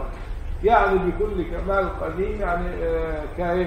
كحمده تعالى؟ لنفسه أو حادث يعني كحمد الخلق أو حمد المكلفين له سبحانه وتعالى فأنواع الحمد كام؟ أربعة حمد قديم لقديم كده؟ وحمد إيه؟ حادث لحادث حمد نحن البعض وحمد حادث لقديم وحمد قديم؟ لحادث فقد شهدت إذن بأن المدح بكل كمال قديم أو حادث إنما هو لمولانا جل وعلا وهو معنى الحمد لله. وهذا التقرير يعرفك أن تعقيب جملة الحمد الحمد لله في سورة الفاتحة بالوصف برب العالمين هو في غاية الحسن والإعجاز وبالله تعالى التوفيق. يعني حاجة من أجمل ما يعني أنت شوف كده. اللي استفدناه من القرآن عاوز تدبر أفلا تدبر شوف لما الحمد في كلمتين الحمد لله رب شوف اللي المضاف اللي أشعر به وشوف اللي أشعر به المضاف إليه وشوف اللي أشعر به الجمع ومع ذلك وفوق كل ذي علم عليم لو أخذت يعني آه، تقف عند هذه الكلمات وتستنبط منها لفتح لك الايه فقد شوف يعني هنا في توفيق ومدد كبير عند مولانا. والصلاة والسلام وأحشد المتنى. يبقى الأول قلنا الحمد لله رب العالمين. كده والصلاة والسلام على سيدنا محمد خاتم النبيين وإمام المرسلين. هذه كمان عاوز لها سنتين. تاني يلا. والصلاة والسلام على سيدنا محمد خاتم النبيين وإمام المرسلين. صلى الله عليه وسلم. لا شك أن أعلى الكمالات الحادثة كلها وأدومها كمال لا شك أن أعلى الكمالات الحادثة ها، كلها وكلها كلها. وأدومها ك... وأدومها وأدومها لا لا لا, لا شك أن أعلى الكمالات الحادثة كلها. وأدومها ليه؟ عشان بنعطف على المضاف مش على المضاف إليه. أعلى. الكمالات الحادثة وأدومها. أعلى يعني لو قلت لا شك أن أدوم الكمالات لا شك أن أعلى.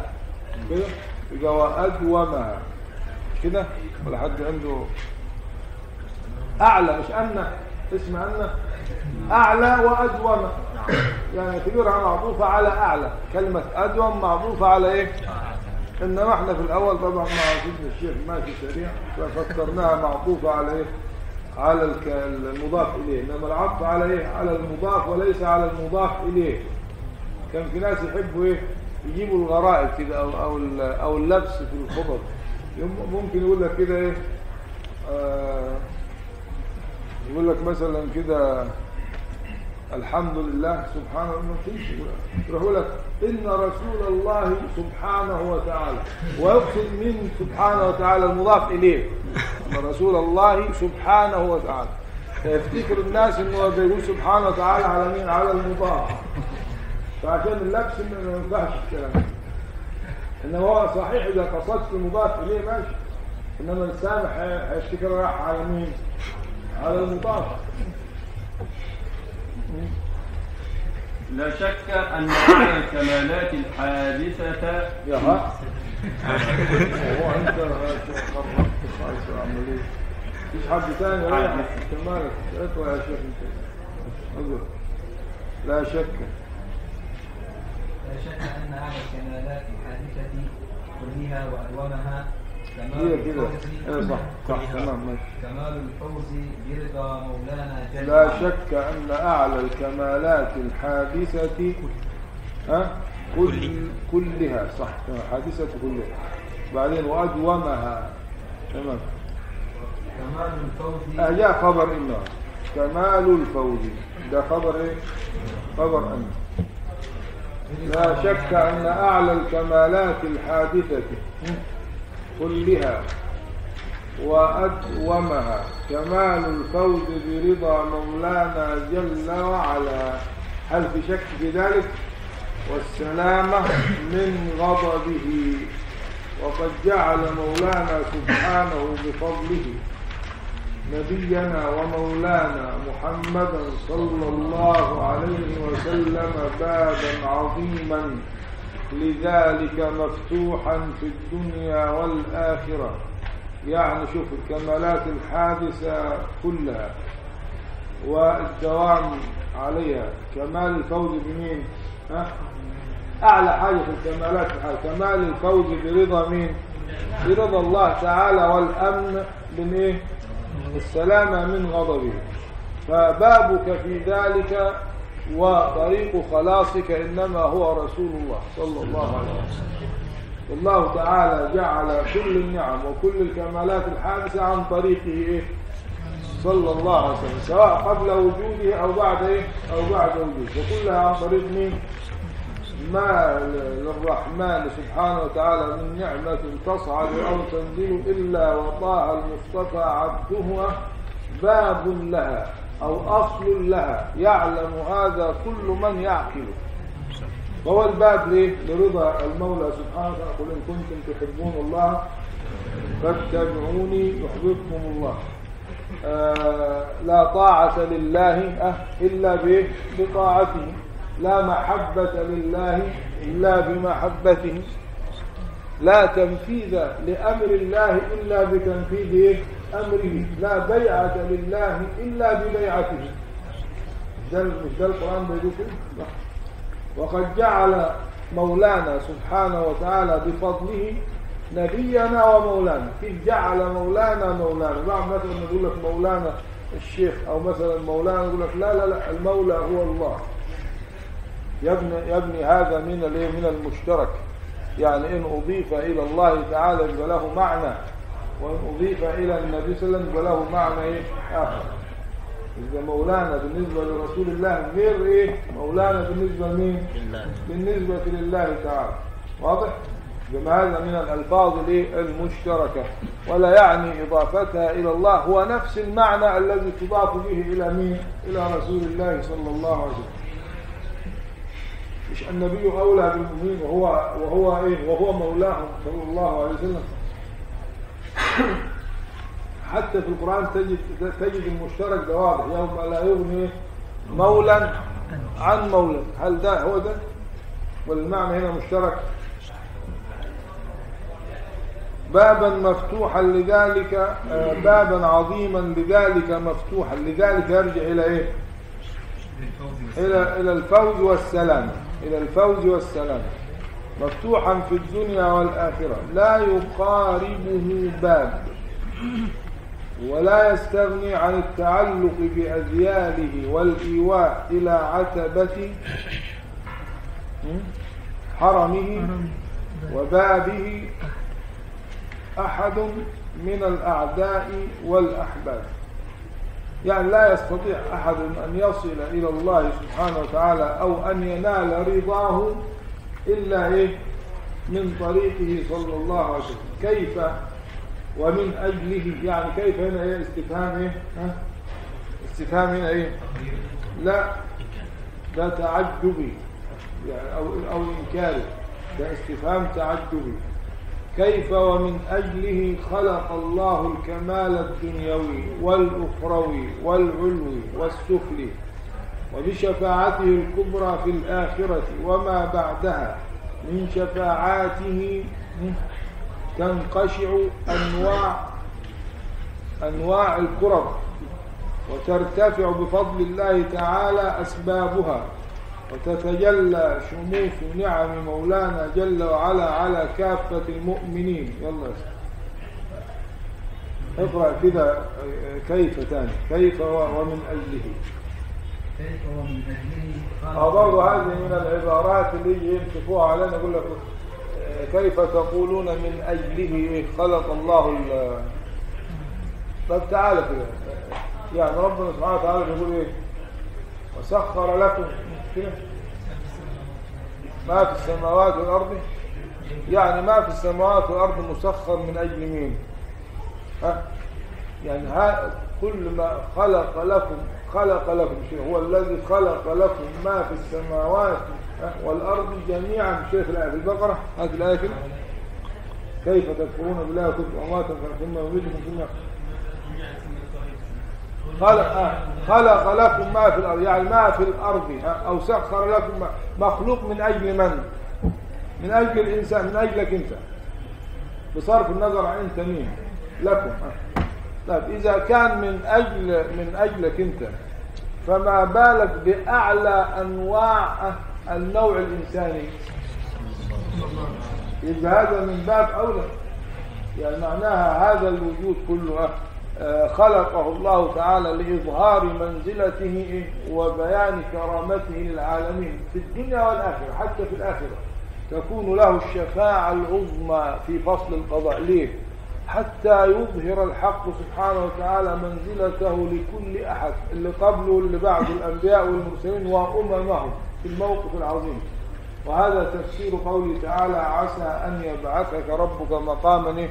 يعني يقوم مقاما يغبطه عليه الأولون والآخرون ليس هناك أحد إلا ويغبط على هذا؟ المقام العظيم فشوف هنا العبارات دي من عبارات يعني كلام نفيس وكلام عالي. يقول كيف؟ ومن أجله خلق الله الكمال الدنيوي والأخروي والعلوي والسفلي.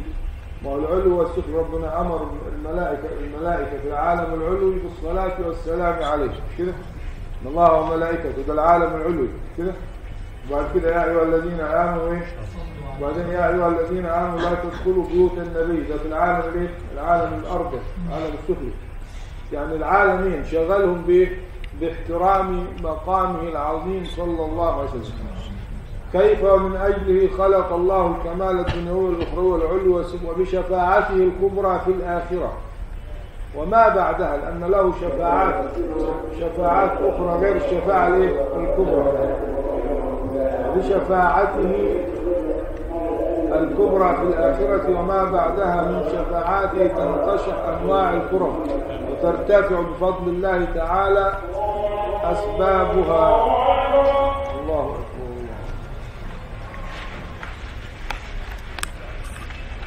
الرحمن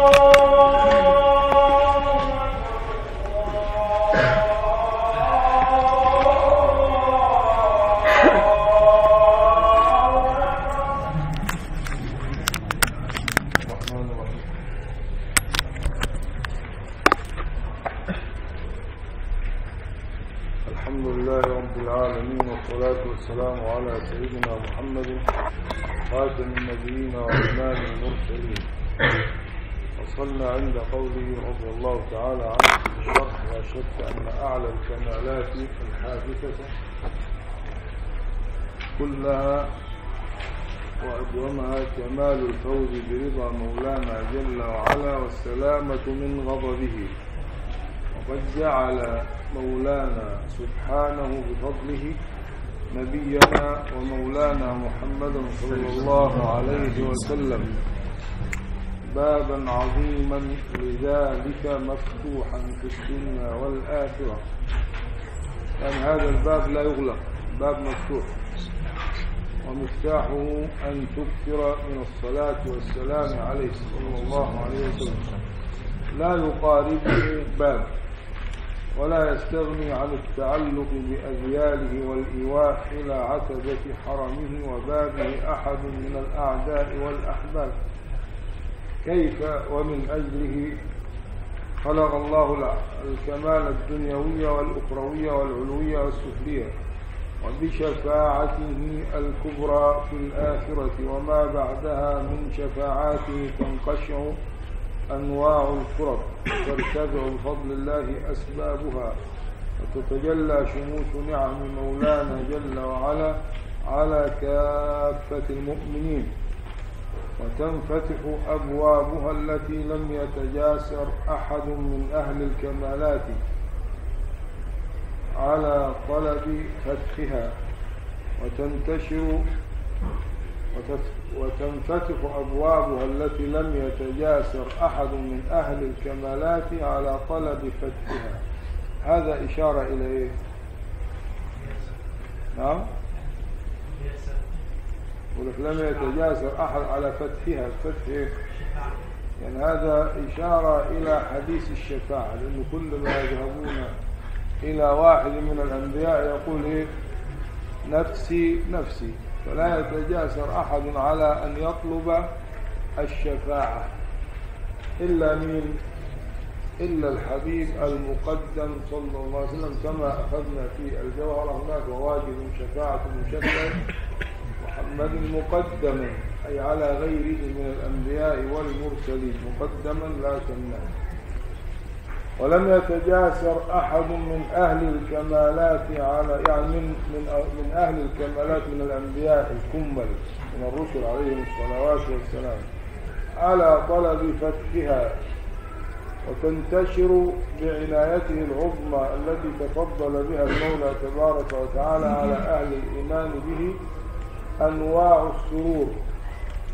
يعني وتنتشر أنواعه السرور وتنكشف عن الظواهر والبواطن أجناس الغموم وأنواع, وأنواع الشرور وببركة مبعثه الشريف وطلوع يعني وبسبب طلوع طلعته البهية السعيدة على أهل الأرض.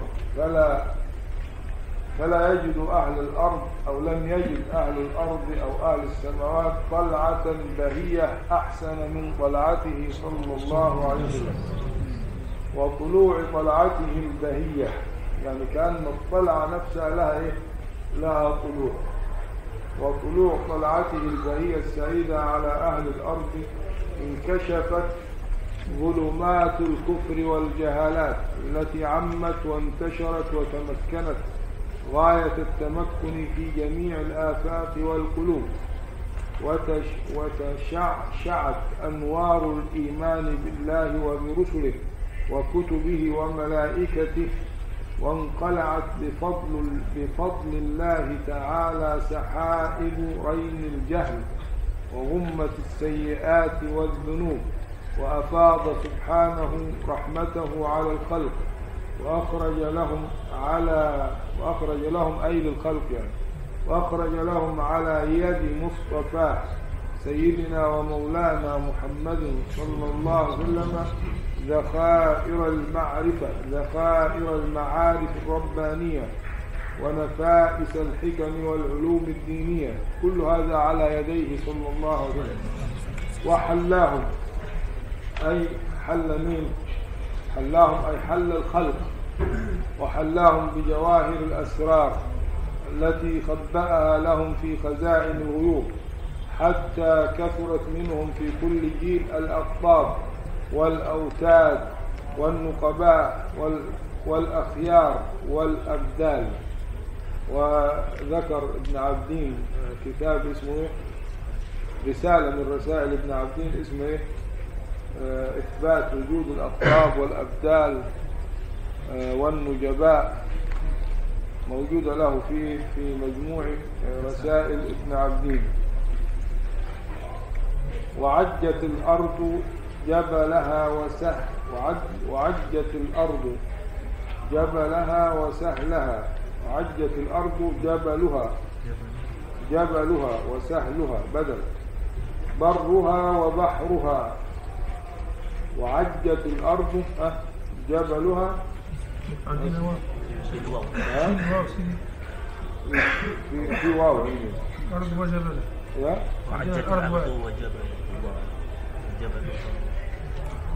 ملأ وعجت الأرض جبلها وسهلها يعني جبالها وسهولها برها وبحرها بتوحيد المولى تبارك وتعالى. الأقطاب دي درجات في الولاية. يعني القطب وفي الغوث أعلى من القطب والأوتاد والنجباء والأبدال. وتقرأ في الفتاوى الحديثية للإمام ابن حجر الهيثمي المكي. يذكر إيه؟ حديث الأبدال ويصححه. فكلما سموا أبدال لأن عددهم إيه؟ 30 أو 40 في حجر. كلما مات واحد أه أبدل الله مكانه وبهم يحفظ الأرض يعني أولياء درجة من الولاية. ثم إيه؟ ثم الأبدال. أو إنه آه، ممكن إيه؟ يخلق الله على صورهم أبدال إيه؟ آه، منهم. والأوتاد يعني كأن الله تعالى يجعل الأرض تستقر زي بمثابة؟ الأوتاد الأعمدة الذين يحفظوا يحفظ الله تعالى بهم هذه الأرض.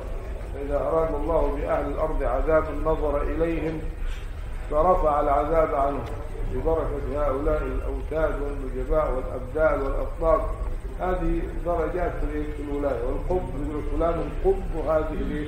البلدة يعني عليه تدور أمورها وأحوالها فهو المقصود لحل مشكلاتها هذا إيه؟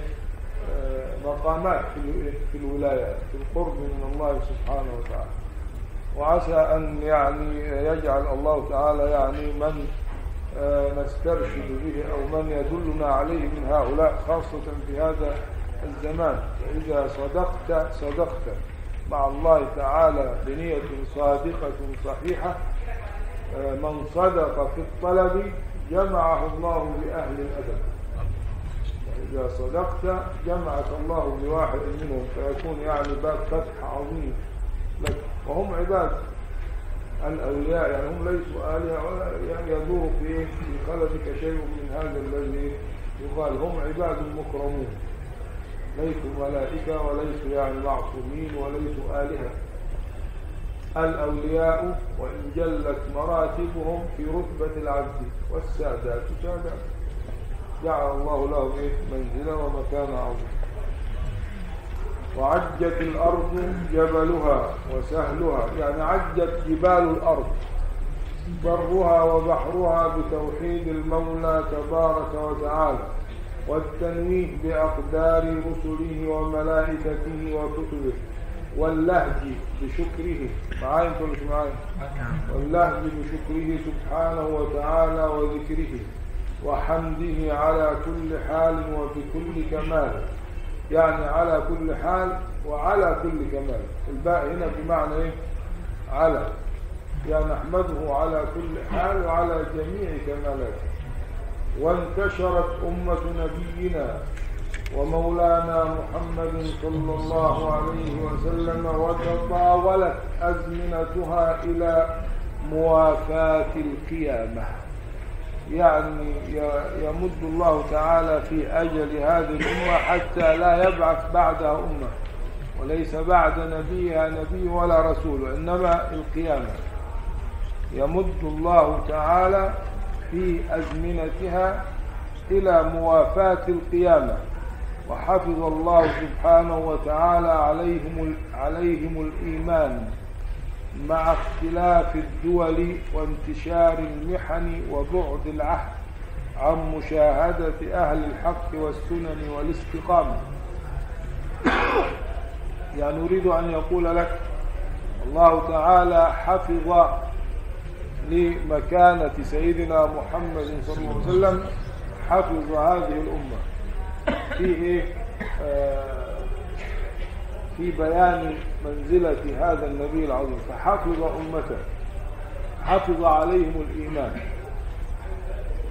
مع اختلاف الدول يعني حدث سقوط دول وقيام دول أخرى وحروب وانتشار محن كانت كافية أن تقضي على إيه؟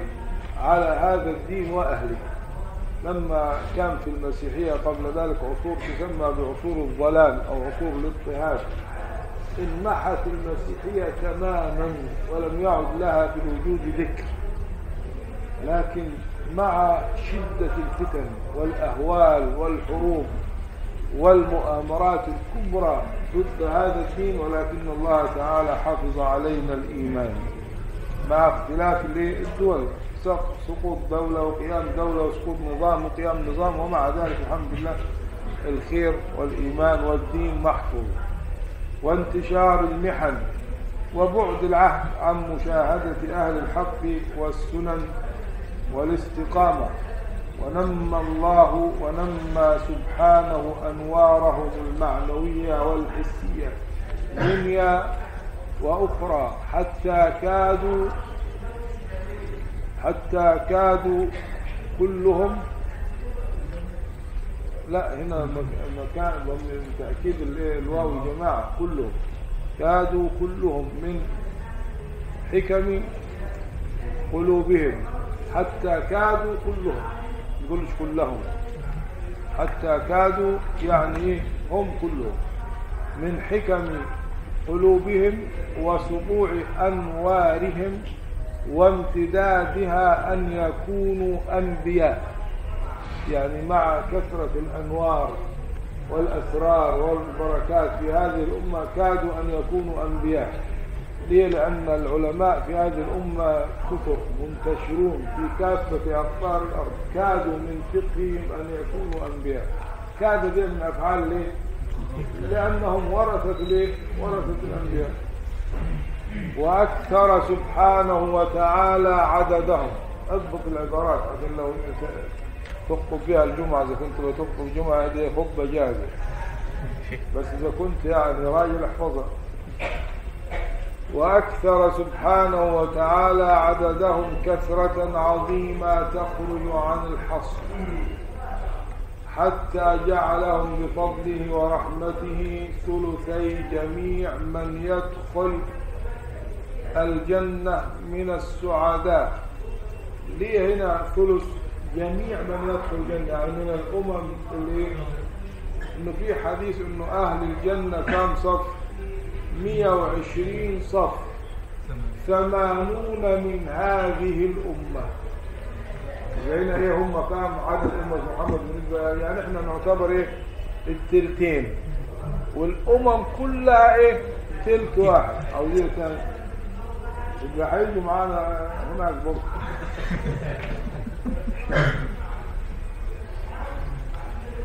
وقد ورد أن صفوف أهل الجنة كام مئة. مئة وعشرون صفا ثمانون من إيه؟ منها لهذه الأمة. وهذا الحديث موجود في الترمذي في كتاب اللي عاوز يجمع الحديث في في صحيح الترمذي في سنن الترمذي كتاب صفة الجنة. نصه عن بريدة الأسلمي عن النبي صلى الله عليه وسلم قال أهل الجنة عشرون ومائة صف ثمانون من هذه الأمة وأربعون من سائر الأمم أربعون من سائر الأمم عاوزية تاني خير كبير يعني يعني تلتين مش تل مش التلت ثلثي أهل الإيه؟ أهل الجنة كم؟ تلتين ثمانين. ولعلهم إن كانوا ثلثي أهل الجنة يكون لهم من الجنة ونعيمها أكثر من الثلثين كثلاثة أرباع أو تسعة أعشار. ونحو ذلك لما علم من تخصيص المولى تبارك وتعالى لهم بكرامة تضعيف الثواب لهم والعمل تضعيف الثواب لهم بالعمل والزمان والمكان والحال. إيه معنى الكلام ده. الكلام اللي عدى مفهوم مش كده؟ في حاجة مش مفهومة في اللي عدى مفهوم؟ طب أسألكم هنا. آه هنا هنا هعرفكم إذا كانوا فاهمين ولا إيه ولا يعني كده ساكتون وخلاص كده. لما علم من تخصيص المولى تبارك وتعالى لهم بكرامة تضعيف الثواب. خلاص عارفين تضعيف الثواب يعني؟ لا. يضعف لهم الحق تعالى الثواب بالعمل والزمان والمكان والحال. اشرح لي دول. أنت هنا ما كنتش فتوجد في مكانين في وقتها العمل يجعل آه، الثواب متضاعف كالصيام مثلا لا يعلم لا يعلم آه، ده العمل صح وبعدين بس خلاص واحد واحد. خصصها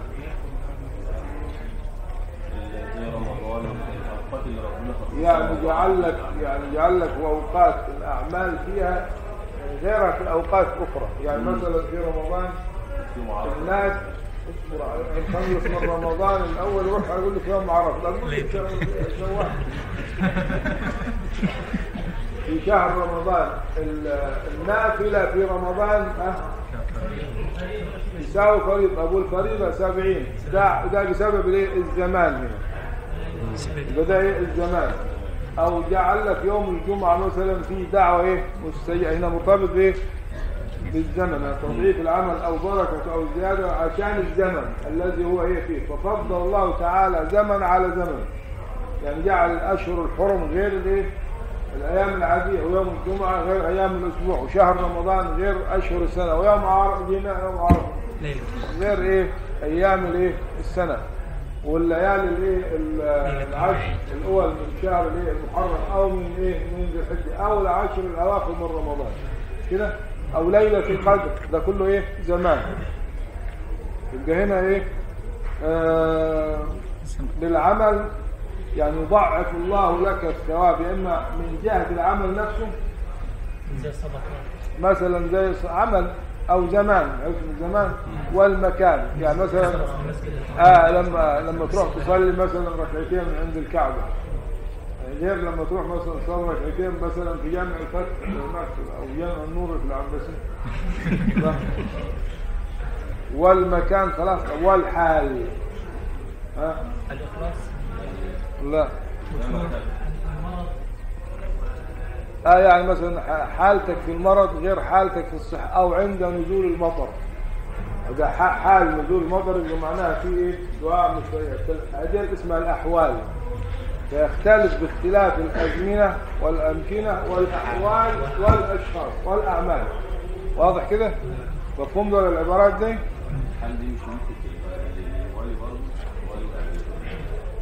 لا الحال في التصوف غير اللي هنا المقام والحال ده بنتكلم على هنا معنى الحال يعني؟ يعني في حال دون حال حال المرض يبقى أنت أرجع للإجابة وعملك في المرض يضاعف بسبب إنه في مشقة في حال الايه المرض أو في حال نزول الإيه؟ المطر. كده أو في حال الإيه؟ السفر. يعني هي دي اسمها إيه؟ أحوال. أما الأماكن معروفه والازمنه معروفه والأعمال معروفه واضح؟ آه، كمل ساعد معلش. مش عارف مين اللي كان بيقرا مين اللي كان بيقرا يلا يا مولانا. بعد الحال على طول. وبالجملة؟ وبالجملة لما لم ينل غيرهم من الجنة إلا اليسير فكأنها لما لم ينل غيرهم من الجنة إلا اليسير يعني حظهم إيه؟ قليل أقل. فكأنها إنما خلقت من أجلهم ولهم. كده؟ آه، يلا. وإذا عرفت أن منزلة سيد أن منزلة سيدنا أن ومولانا منزلة سيدنا. سيدنا ومولانا محمد صلى الله, صلى الله عليه صلى الله عليه وسلم.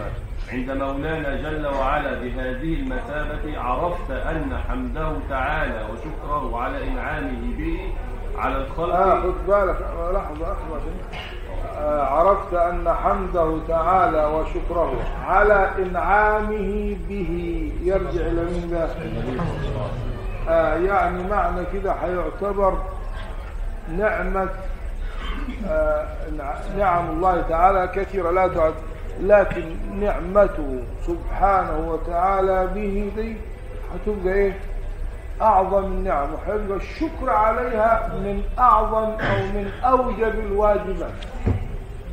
إن كلما تكون النعمة عظيمة أو كبيرة كلما يكون الشكر عليها فتعتبر دي أعظم نعمة. ليه؟ لأنه بسببها أخرجنا من الظلمات إلى النور. بسببها كان الإيمان. وأجل النعم إيه؟ الحمد لله على نعمة الإيمان والإسلام. بسببها كانت نعمة. بسببها كانت الهداية بسببها تكون النجاة في الآخرة بسببها يكون الخلود في الجنة بسببها تنال رضا الله في الآخرة بسببها تتنعم برؤية وجهه الكريم. إذا دي أعظم نعمة ولا أعظم نعمة. الله بهذه المثابة بهذه المثابة عرفت أن حمده تعالى وشكره على إنعامه به على الخلق من أوجب الواجبات وأن التوسل إليه تعالى بحب هذا السيد والتعظيم وكثرة الصلاة والتسليم آه يعني عليه. مس- مسألة التوسل هم مشايخنا الكبار العلماء الأفجاد اللي هم حرروا مسائل العقيدة ذكروها. فالتوسل به يعني بمنزلته تمام كده وبمحبته والتوسل بدرجته العالية عند الله سبحانه وتعالى. وكل هذا من إيه؟ من الأمور المشروعة. ربنا سبحانه وتعالى كده جاب الآية عامة. يا أيها الذين آمنوا اتقوا الله وابتغوا إليه الوسيلة. يعني كل ما يكون وسيلة إلى محبته إلى رضاه إلى آه، إجابة آه، الدعاء إلى كشف الكربات فهذا إيه؟ آه، مشروع إيه؟ به صلى الله عليه وسلم. آه، أعجبني واحد كان جاي من شنكيت شنكيت دول عندهم حفظ المتون وعندهم حاجة بسم الله ما شاء الله في المتون في الفقه المالي. فجوا في مؤتمر كبير في بعض البلاد العربية وقام جماعة كده قالوا إن التوسل ده آه، فيه شرك أو انحراف عن العقيدة الإسلامية الصحيحة. ورجل كده بالفطرة كده عنده ملكة الشعر. وراح قام كده على الفور راح قال قالوا التوسل بالنبي نعده شركا وما منعوه بالأعمال. لما تسأل يقول لك التوسل بالعمل الصالح شو؟ التوسل قال التوسل آه المبتدع الكبير. قال التوسل بالنبي نعده إيه؟ شركا. وما منعوه بالأعمال. قلت النبي أحب من أعمالكم قطعا إلى المتكبر المتعالي. لأنه إيه معنى التوسل بال- بالعمل الصالح. الأعمال بها أعراض. فالأعمال الصالحة تقوم بذوات صالحة. فإذا جاز التوسل بالأعراض فكيف لا يجوز بالذوات؟ نعم. عاوز البيت الثاني؟ هتنكر عليه ولا عجبك؟ قال التوسل بالنبي نعده شركا. وما منعوه بالأعمال. يعني جوزوا آه في السؤال ما أقول لك البيت الأول كده شرح لك. قال التوسل بالنبي نعده شركا وما منعوه بالأعمال. قلت أي في معرض الرد يعني قلت النبي أحب من أعمالهم قطعا إلى المتكبر المتعالي. لماذا؟ مثلا لما تيجي تناقش واحد تلقى عنده حاجة غريبة. ما هو الدليل على عدم جواز التوسل؟ تروح يقول لك إيه؟ لو كان التوسل بالنبي صلى الله عليه وسلم بعد انتقاله يعني بعد موته جائزا لما عدل عمر رضي الله تعالى عنه إلى التوسل بالعباس من حديث. التوسل لا يستطيعون إنكاره ده في صحيح البخاري. اللهم إنا كنا نتوسل إليك ب- بنبينا وتزكية. إنا نتوسل إليك بعمي. فقالوا سيدنا عمر ترك التوسل بالنبي صلى الله عليه وسلم. كنا كنا في عهد ماضي. والآن نتوسل إليك بعم نبيك. فلو كان التوسل بعد انتقال ع- عاوز يريد أن يقول لك أن التوسل ليس جائزا به إلا في حياته. بدليل أول كنا نتوسل والآن خلاص تركنا هذا العمل لأن وسلم غير موجود بين إيه بين ظهرانه فالآن نتوسل إليك بإيه بعم إيه؟ بالعباس رضي الله عنه أولا تسأل هذا السائل فتقول له ما هي أنواع التوسل المجمع عليها التي ليس فيها خلاف فيقول لك التوسل؟ أول حاجة يذكرها لك العمل الصالح ويروح على طول مباشرة يسوق لك حديث ليه؟ الصخرة. وعرض طبعا الحديث.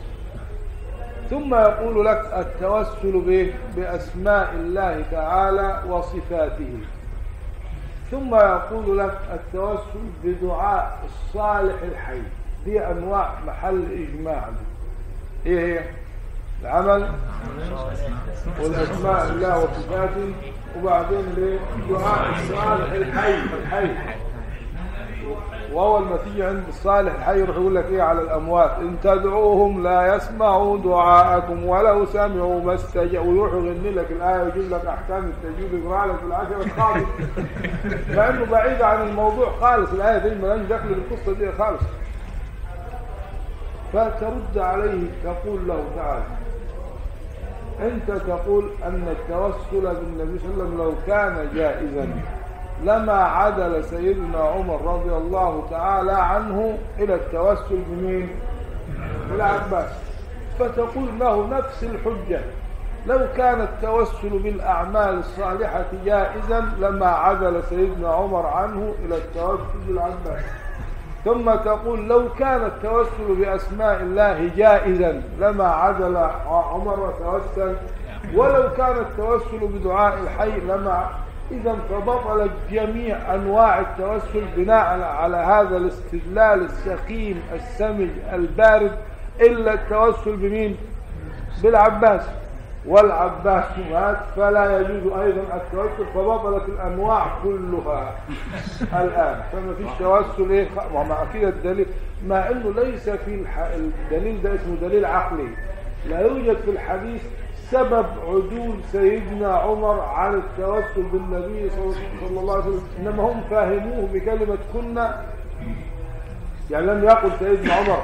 ولأن لم يصرح مثلا بالعلة أو بالسبب أن عليه وسلم توفي فلا يجوز التوسل به وإنما لم يقل هذا إنما هذا فهم؟ عقلي يعني حجة؟ عقلية ولكن السبب أن هذا الحديث رواه الإمام البخاري في كتاب الاستسقاء والاستسقاء عاوز إمام يعني يصلي عاوز واحد مكلف على قيد الحياة ويقلب أرديتهم ويدعو دعاء معين في خطبة في صلاة الاستسقاء ولا يكون هذا من النبي صلى الله عليه وسلم بعد إيه؟ تيجي بعد كده إيه؟ لتوسلهم بالعباس. يعني هو الذي أمرهم في هذه الصلاة هو الذي دعا لهم. فماذا قال العباس في توسله؟ لما دعا قال اللهم إن القوم توسلوا بي لمكاني من نبيك. فرجع التوسل إلى النبي. ولذلك لو جيت يعني لماذا اختاروا العباس مع إنه ليس أفضل القوم؟ يعني موجود علي بن أبي طالب وهو أفضل من العباس بلا خلاف. وسيدنا عمر نفسه موجود. فلماذا يعني لم يتوسلوا بعمر نفسه وهو أمير المؤمنين أو بسيدنا علي رضي الله عنه وهو أفضل من العباس؟ بعضهم يقول عشان إنه ده جواز التوسل بإيه؟ بال بالمقبول مع وجود مين؟ لكن يقول له مش كده لا.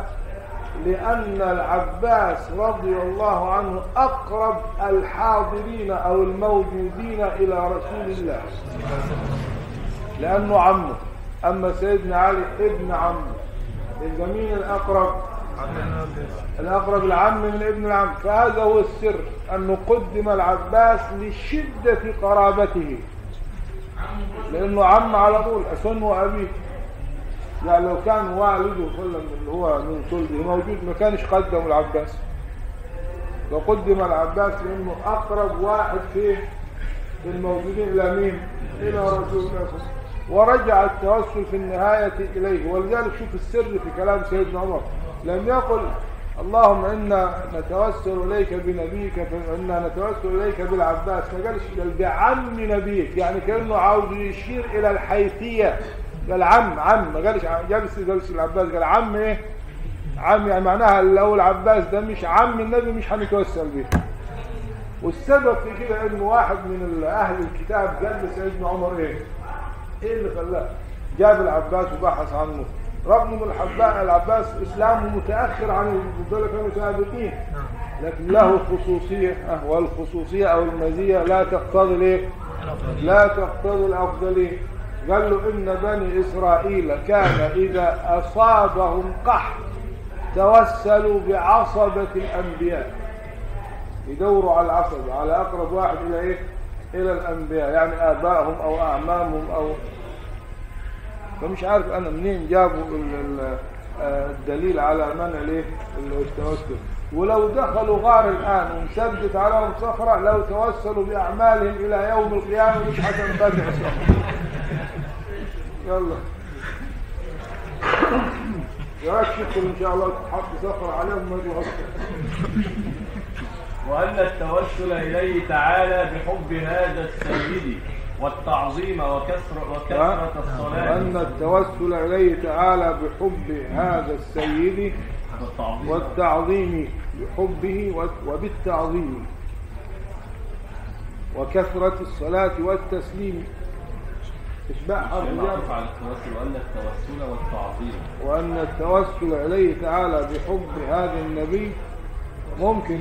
والتعظيم مثلا وكثرة الصلاة والتسليم وكثرة الصلاة والتسليم عليه من أعلى الوسائل. يعني لو لو قلت والتعظيم تبقى معطوفة على التوسل. ولو قلت والتعظيم يبقى بحب هذا السيد والتعظيم يعني وبالتعظيم. تمشي كده تمشي وكثرة الصلاة والتسليم عليه من أعلى الوسائل للأمن من المخوفات والفوز بأعلى الدرجات. الأمن إيه؟ من أيوه أيوه. والفوز بأعلى الدرجات ولو لم يعني يكن المخوفات الأشياء اللي تخيف يعني خوف يعني مخوفات. آه وال- والفوز بأعلى الدرجات ولو لم يكن للصلاة عليه من الفضل العظيم إلا ما ورد في الصحاح يعني يريد أن يقول لك أن التوسل وكثرة الصلاة والتسليم ده أعلى أعلى الوسائل للأمن من؟ من من كل شيء تخاف. والفوز بأعلى الدرجات. ولو لم يكن للصلاة عليه من الفضل العظيم إلا ما ورد. يلا إلا ما ورد في الصحاح أن من صلى على سيدنا ومولانا محمد صلى الله عليه وسلم. ألا أنبئكم لما سألوه من البخيل قال إيه؟ من ذكرت عنده.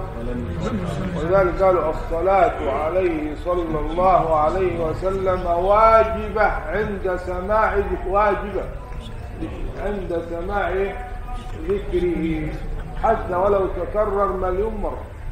حتى لو كان بالضمير مش لازم بالاسم الصريح. يلا. أن من صلى على سيدنا ومولانا محمد صلى الله عليه وسلم مرة واحدة صلى الله تعالى عليه بها عشرا ده الحديث ده في صحيح الإمام مسلم؟ أن رسول الله صلى الله عليه وسلم قال من صلى علي واحدة صلى الله عليه بها إيه؟ عشرة ألا أيها فاز المثوبة والأجر وتعظيم وتكفير ذنب سالف أنقذ الظهر عليك بإكثار الصلاة واظب على سيد الخلق آه، صلى الله عليه وسلم. من صلى على سيدنا ومولانا محمد صلى الله عليه وسلم. مرة واحدة صلى الله تعالى عليه بها عشرا لكان كافيا للعقلاء. آه يعني يعني ده يكفي لواحد عاقل لو أنت صليت صلاة واحدة ربنا هيصلي عليك كام وشوف يعني صلاة النبي صلى الله عليه وسلم في. صلاة الحق سبحانه وتعالى. من صلى علي واحدة. شوف لم يقل صليت عليه بها. ده قال صلى الله. يعني لو أنت عاقل وبتفهم لو قالوا لك كده حسنات العالم كله. تاخدها كده حطوها في في ميزان يعني حسناتك. حسنات الإنس والجن لا تحطوها في كفة حسناتك. ولا تختار صلاه من الله تعالى واحدة. طبعا لا شك أن العاقل حيختار إيه؟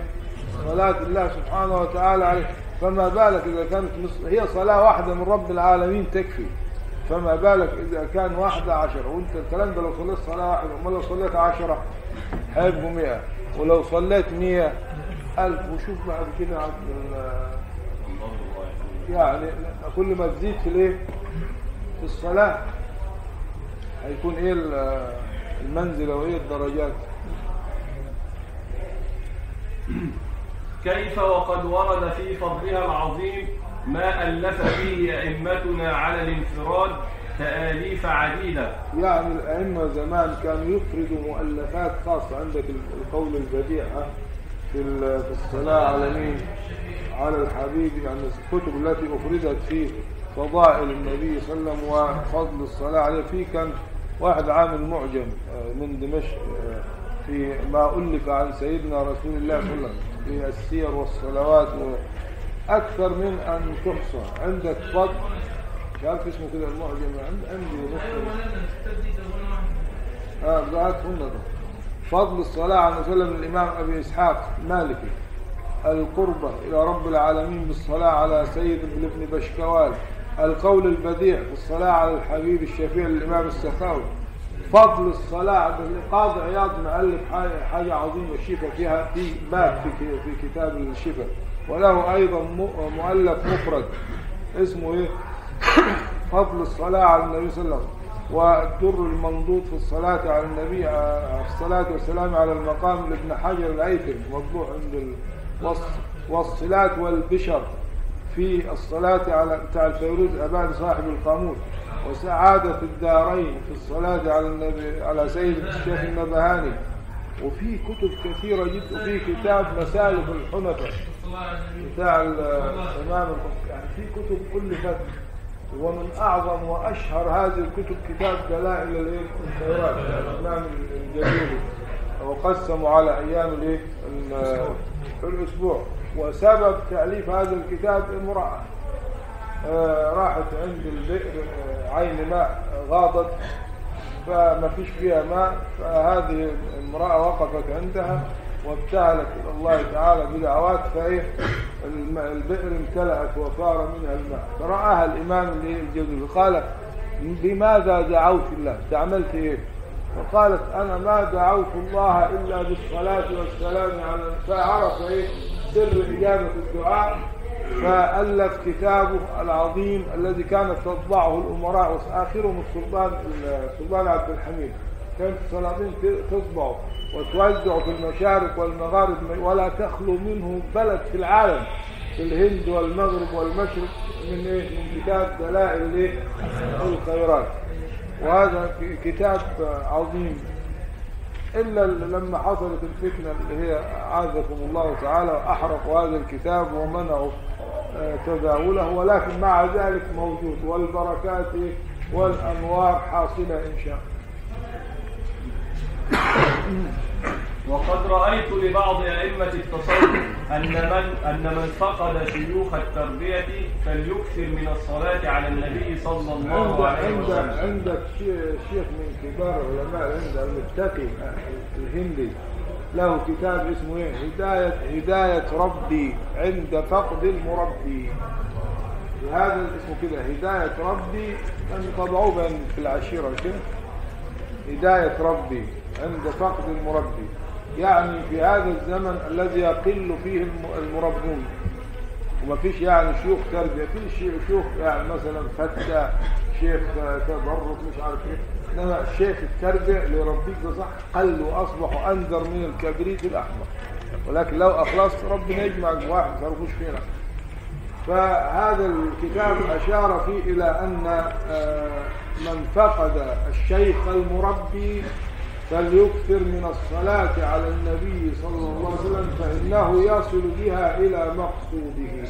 يعني إيه معنى كده؟ ربنا يعطيك أنوار تجعلك إيه؟ في مقام أدب أو تهذيب. يعني تقوم مقام التربية عند فقد المربي. مين اللي يقوم بكده؟ الصلاة على مين؟ اسمه كده الكتاب بتاع المتقي الهندي. ليه كتاب كبير في الحديث. الحديث الشريف بتاع الهندي تقي الدين الهندي له كتاب في السنن. أنا اتذكر اسمه. آه. تقريبا كنز العمال. بتاع مين كنز العمال؟ بتاع الهندي الهندي ها؟ يبقى هو. نعم. وقد رأى. وقد رأيت لبعض أئمة التصوف أن من فقد شيوخ التربية فليكثر من الصلاة على النبي صلى الله عليه وسلم فإنه يصل بها إلى مقصوده. ولعله أخذ ذلك من قوله عليه الصلاة والسلام لأبي هريرة رضي الله عنه يعني يعني هذا الكلام ليس كلام مبتدع ده مأخوذ من كلام سيد المرسلين ولعله أخذ ذلك من قوله صلى الله عليه وسلم أن الصلاة على النبي صلى الله عليه وسلم تقوم مقام الشيخ المربي. أخذ ذلك من قوله عليه الصلاة والسلام لسيدنا أبي هريرة عندما التزم أن يجعل جميع صلاته للنبي صلى الله عليه وسلم. إذا تكفى إيه؟ همك ويغفر ذنبك. نعم. وهنا الشيخ قال مم- ممكن يكون تتعدد ال- ال- الأحوال أو الروايات. إذا تكفى آه، نشوف كده. جزء جزء من حديث أخرجه عن أبي بن كعب والترمذي من حديث أبي وبين, وبين أنه هو الرجل. وقال الترمذي حديث حسن صحيح ولم أقف عليه من حديث أبي هريرة أو حديثا فيه ذكره. يعني هو الرواية قد يكون يعني آه، ما إنما هو الموجود في ال- في السنة لمين؟ سيدنا أبي بن كعب صحيح.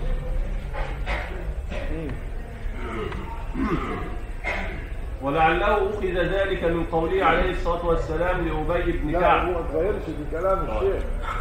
ويمكن غلط من ال- يعني ما تلعبش في المتن زي الجماعة السلفية لا خلي المتن زي ما هو. وبعدين قول والأصح أو مثلا في كتب الحاجة الموجودة إنه مين؟ أبي بن كعب. لكن ما تشيلش من نفسك. جايز الشيخ وجد حديث آخر. أو الشيخ هنا تحت مؤدب قال لك إيه؟ ولم أقف عليه من حديث أبي هريرة. خلاص. إنما تروح عظم مش شايلها كده.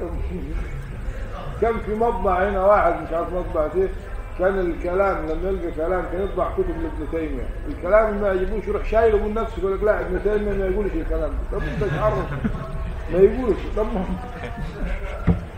والله. ولعله نعم. آه انت ممكن تعلق تحت لو انت بتحفظ لكن ما تكونش الأمانة العلمية تقتضي يعني كان في كتاب موجود قديما عندي في الحلبي كان صبيح مش عارف المحمودية اسمه اسمه بتاع النووي الأذكار مش كده؟ الإمام النووي بيقول كده في الأذكار أذكار زيارة قبر رسول الله. صلى الله عليه وسلم الراجل اللي طبعه ده مش عارف منين من الشام مش عارف ولا من لبنان. راح كاتب كده شال كلمة قبر وحط مكانها كلمة رغم إن الإمام النووي قال قبر. أنت مالك قول تحت مثلا ولا يجوز رد ما تشيلش أنت من نفسك. راح هو غيرها قال لا الأصح يقول ما ينفعش عملوها فين؟ هو لو يبقوا عدل يلعبوا في يشيلوا في القرآن هيشيلوا؟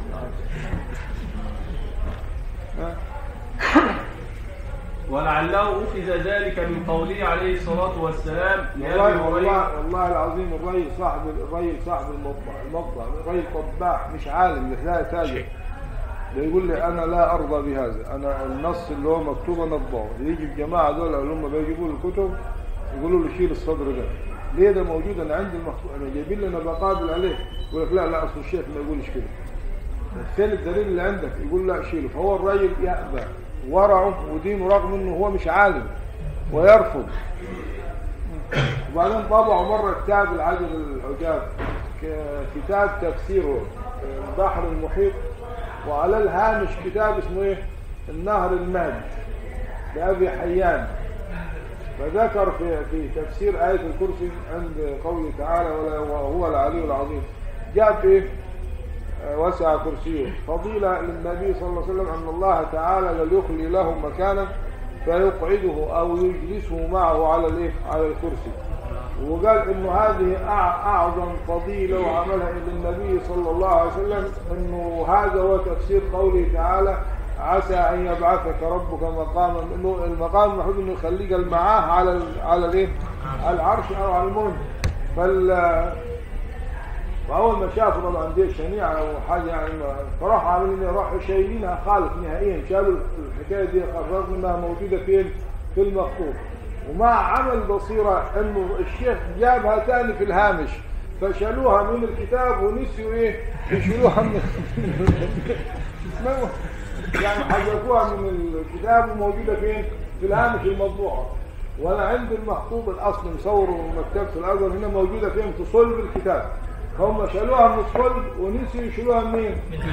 من الهامش. الشيخ ال- الشيخ المع... اللي بيعلق تحت رئيس صالح يقول إيه؟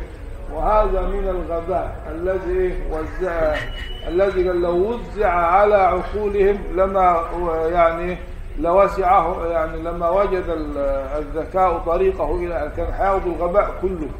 يطبع حاجة ويرسوه فين ووجدوا كتاب كله تصوف وكله على حد رأيهم خرافات وطبعوه. طبعة كبيرة على نفقة الملك. بس الاسم اللي بره الكتاب يظن إنه هو ضد التصوف. فما قرأوش الكلام زين فراحوا طبعوه. على أساس إنه هو ضد. والكتاب مليان إيه؟ تصوف.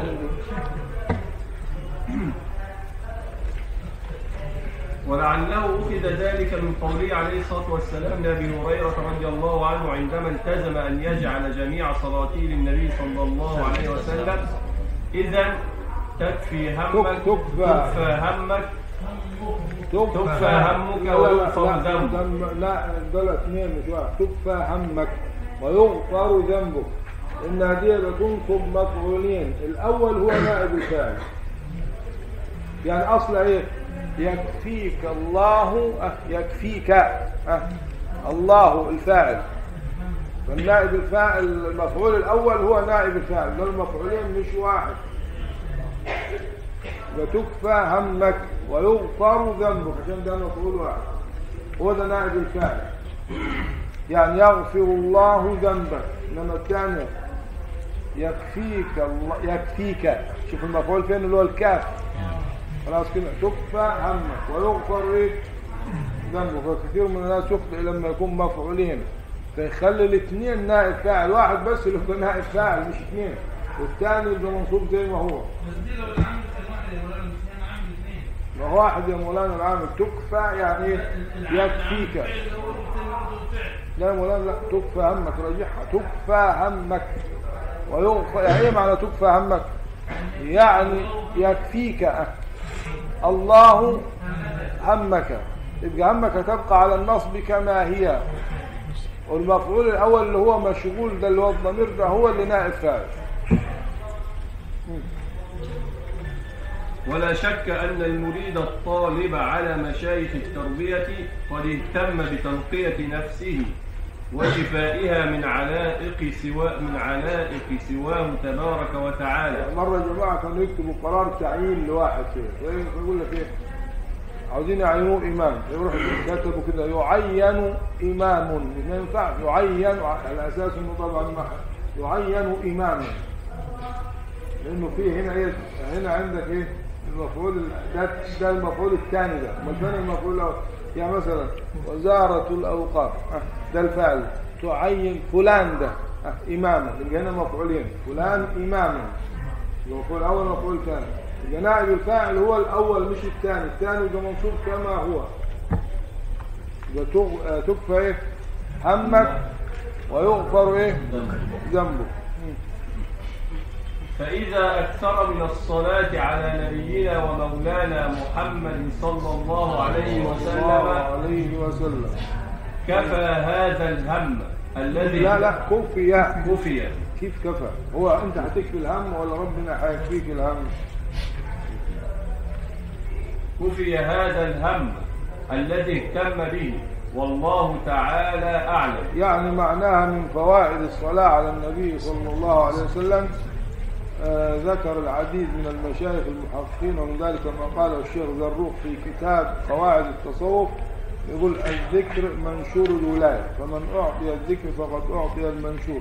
قال شيخنا أبو العباس الحضرمي رضي الله عنه عليك بدوام الذكر وكثرة الصلاة على رسول الله صلى الله عليه وسلم وهي سلم ومعراج وسلوك إلى الله إذا لم يلقى الطالب شيخا مرشدا.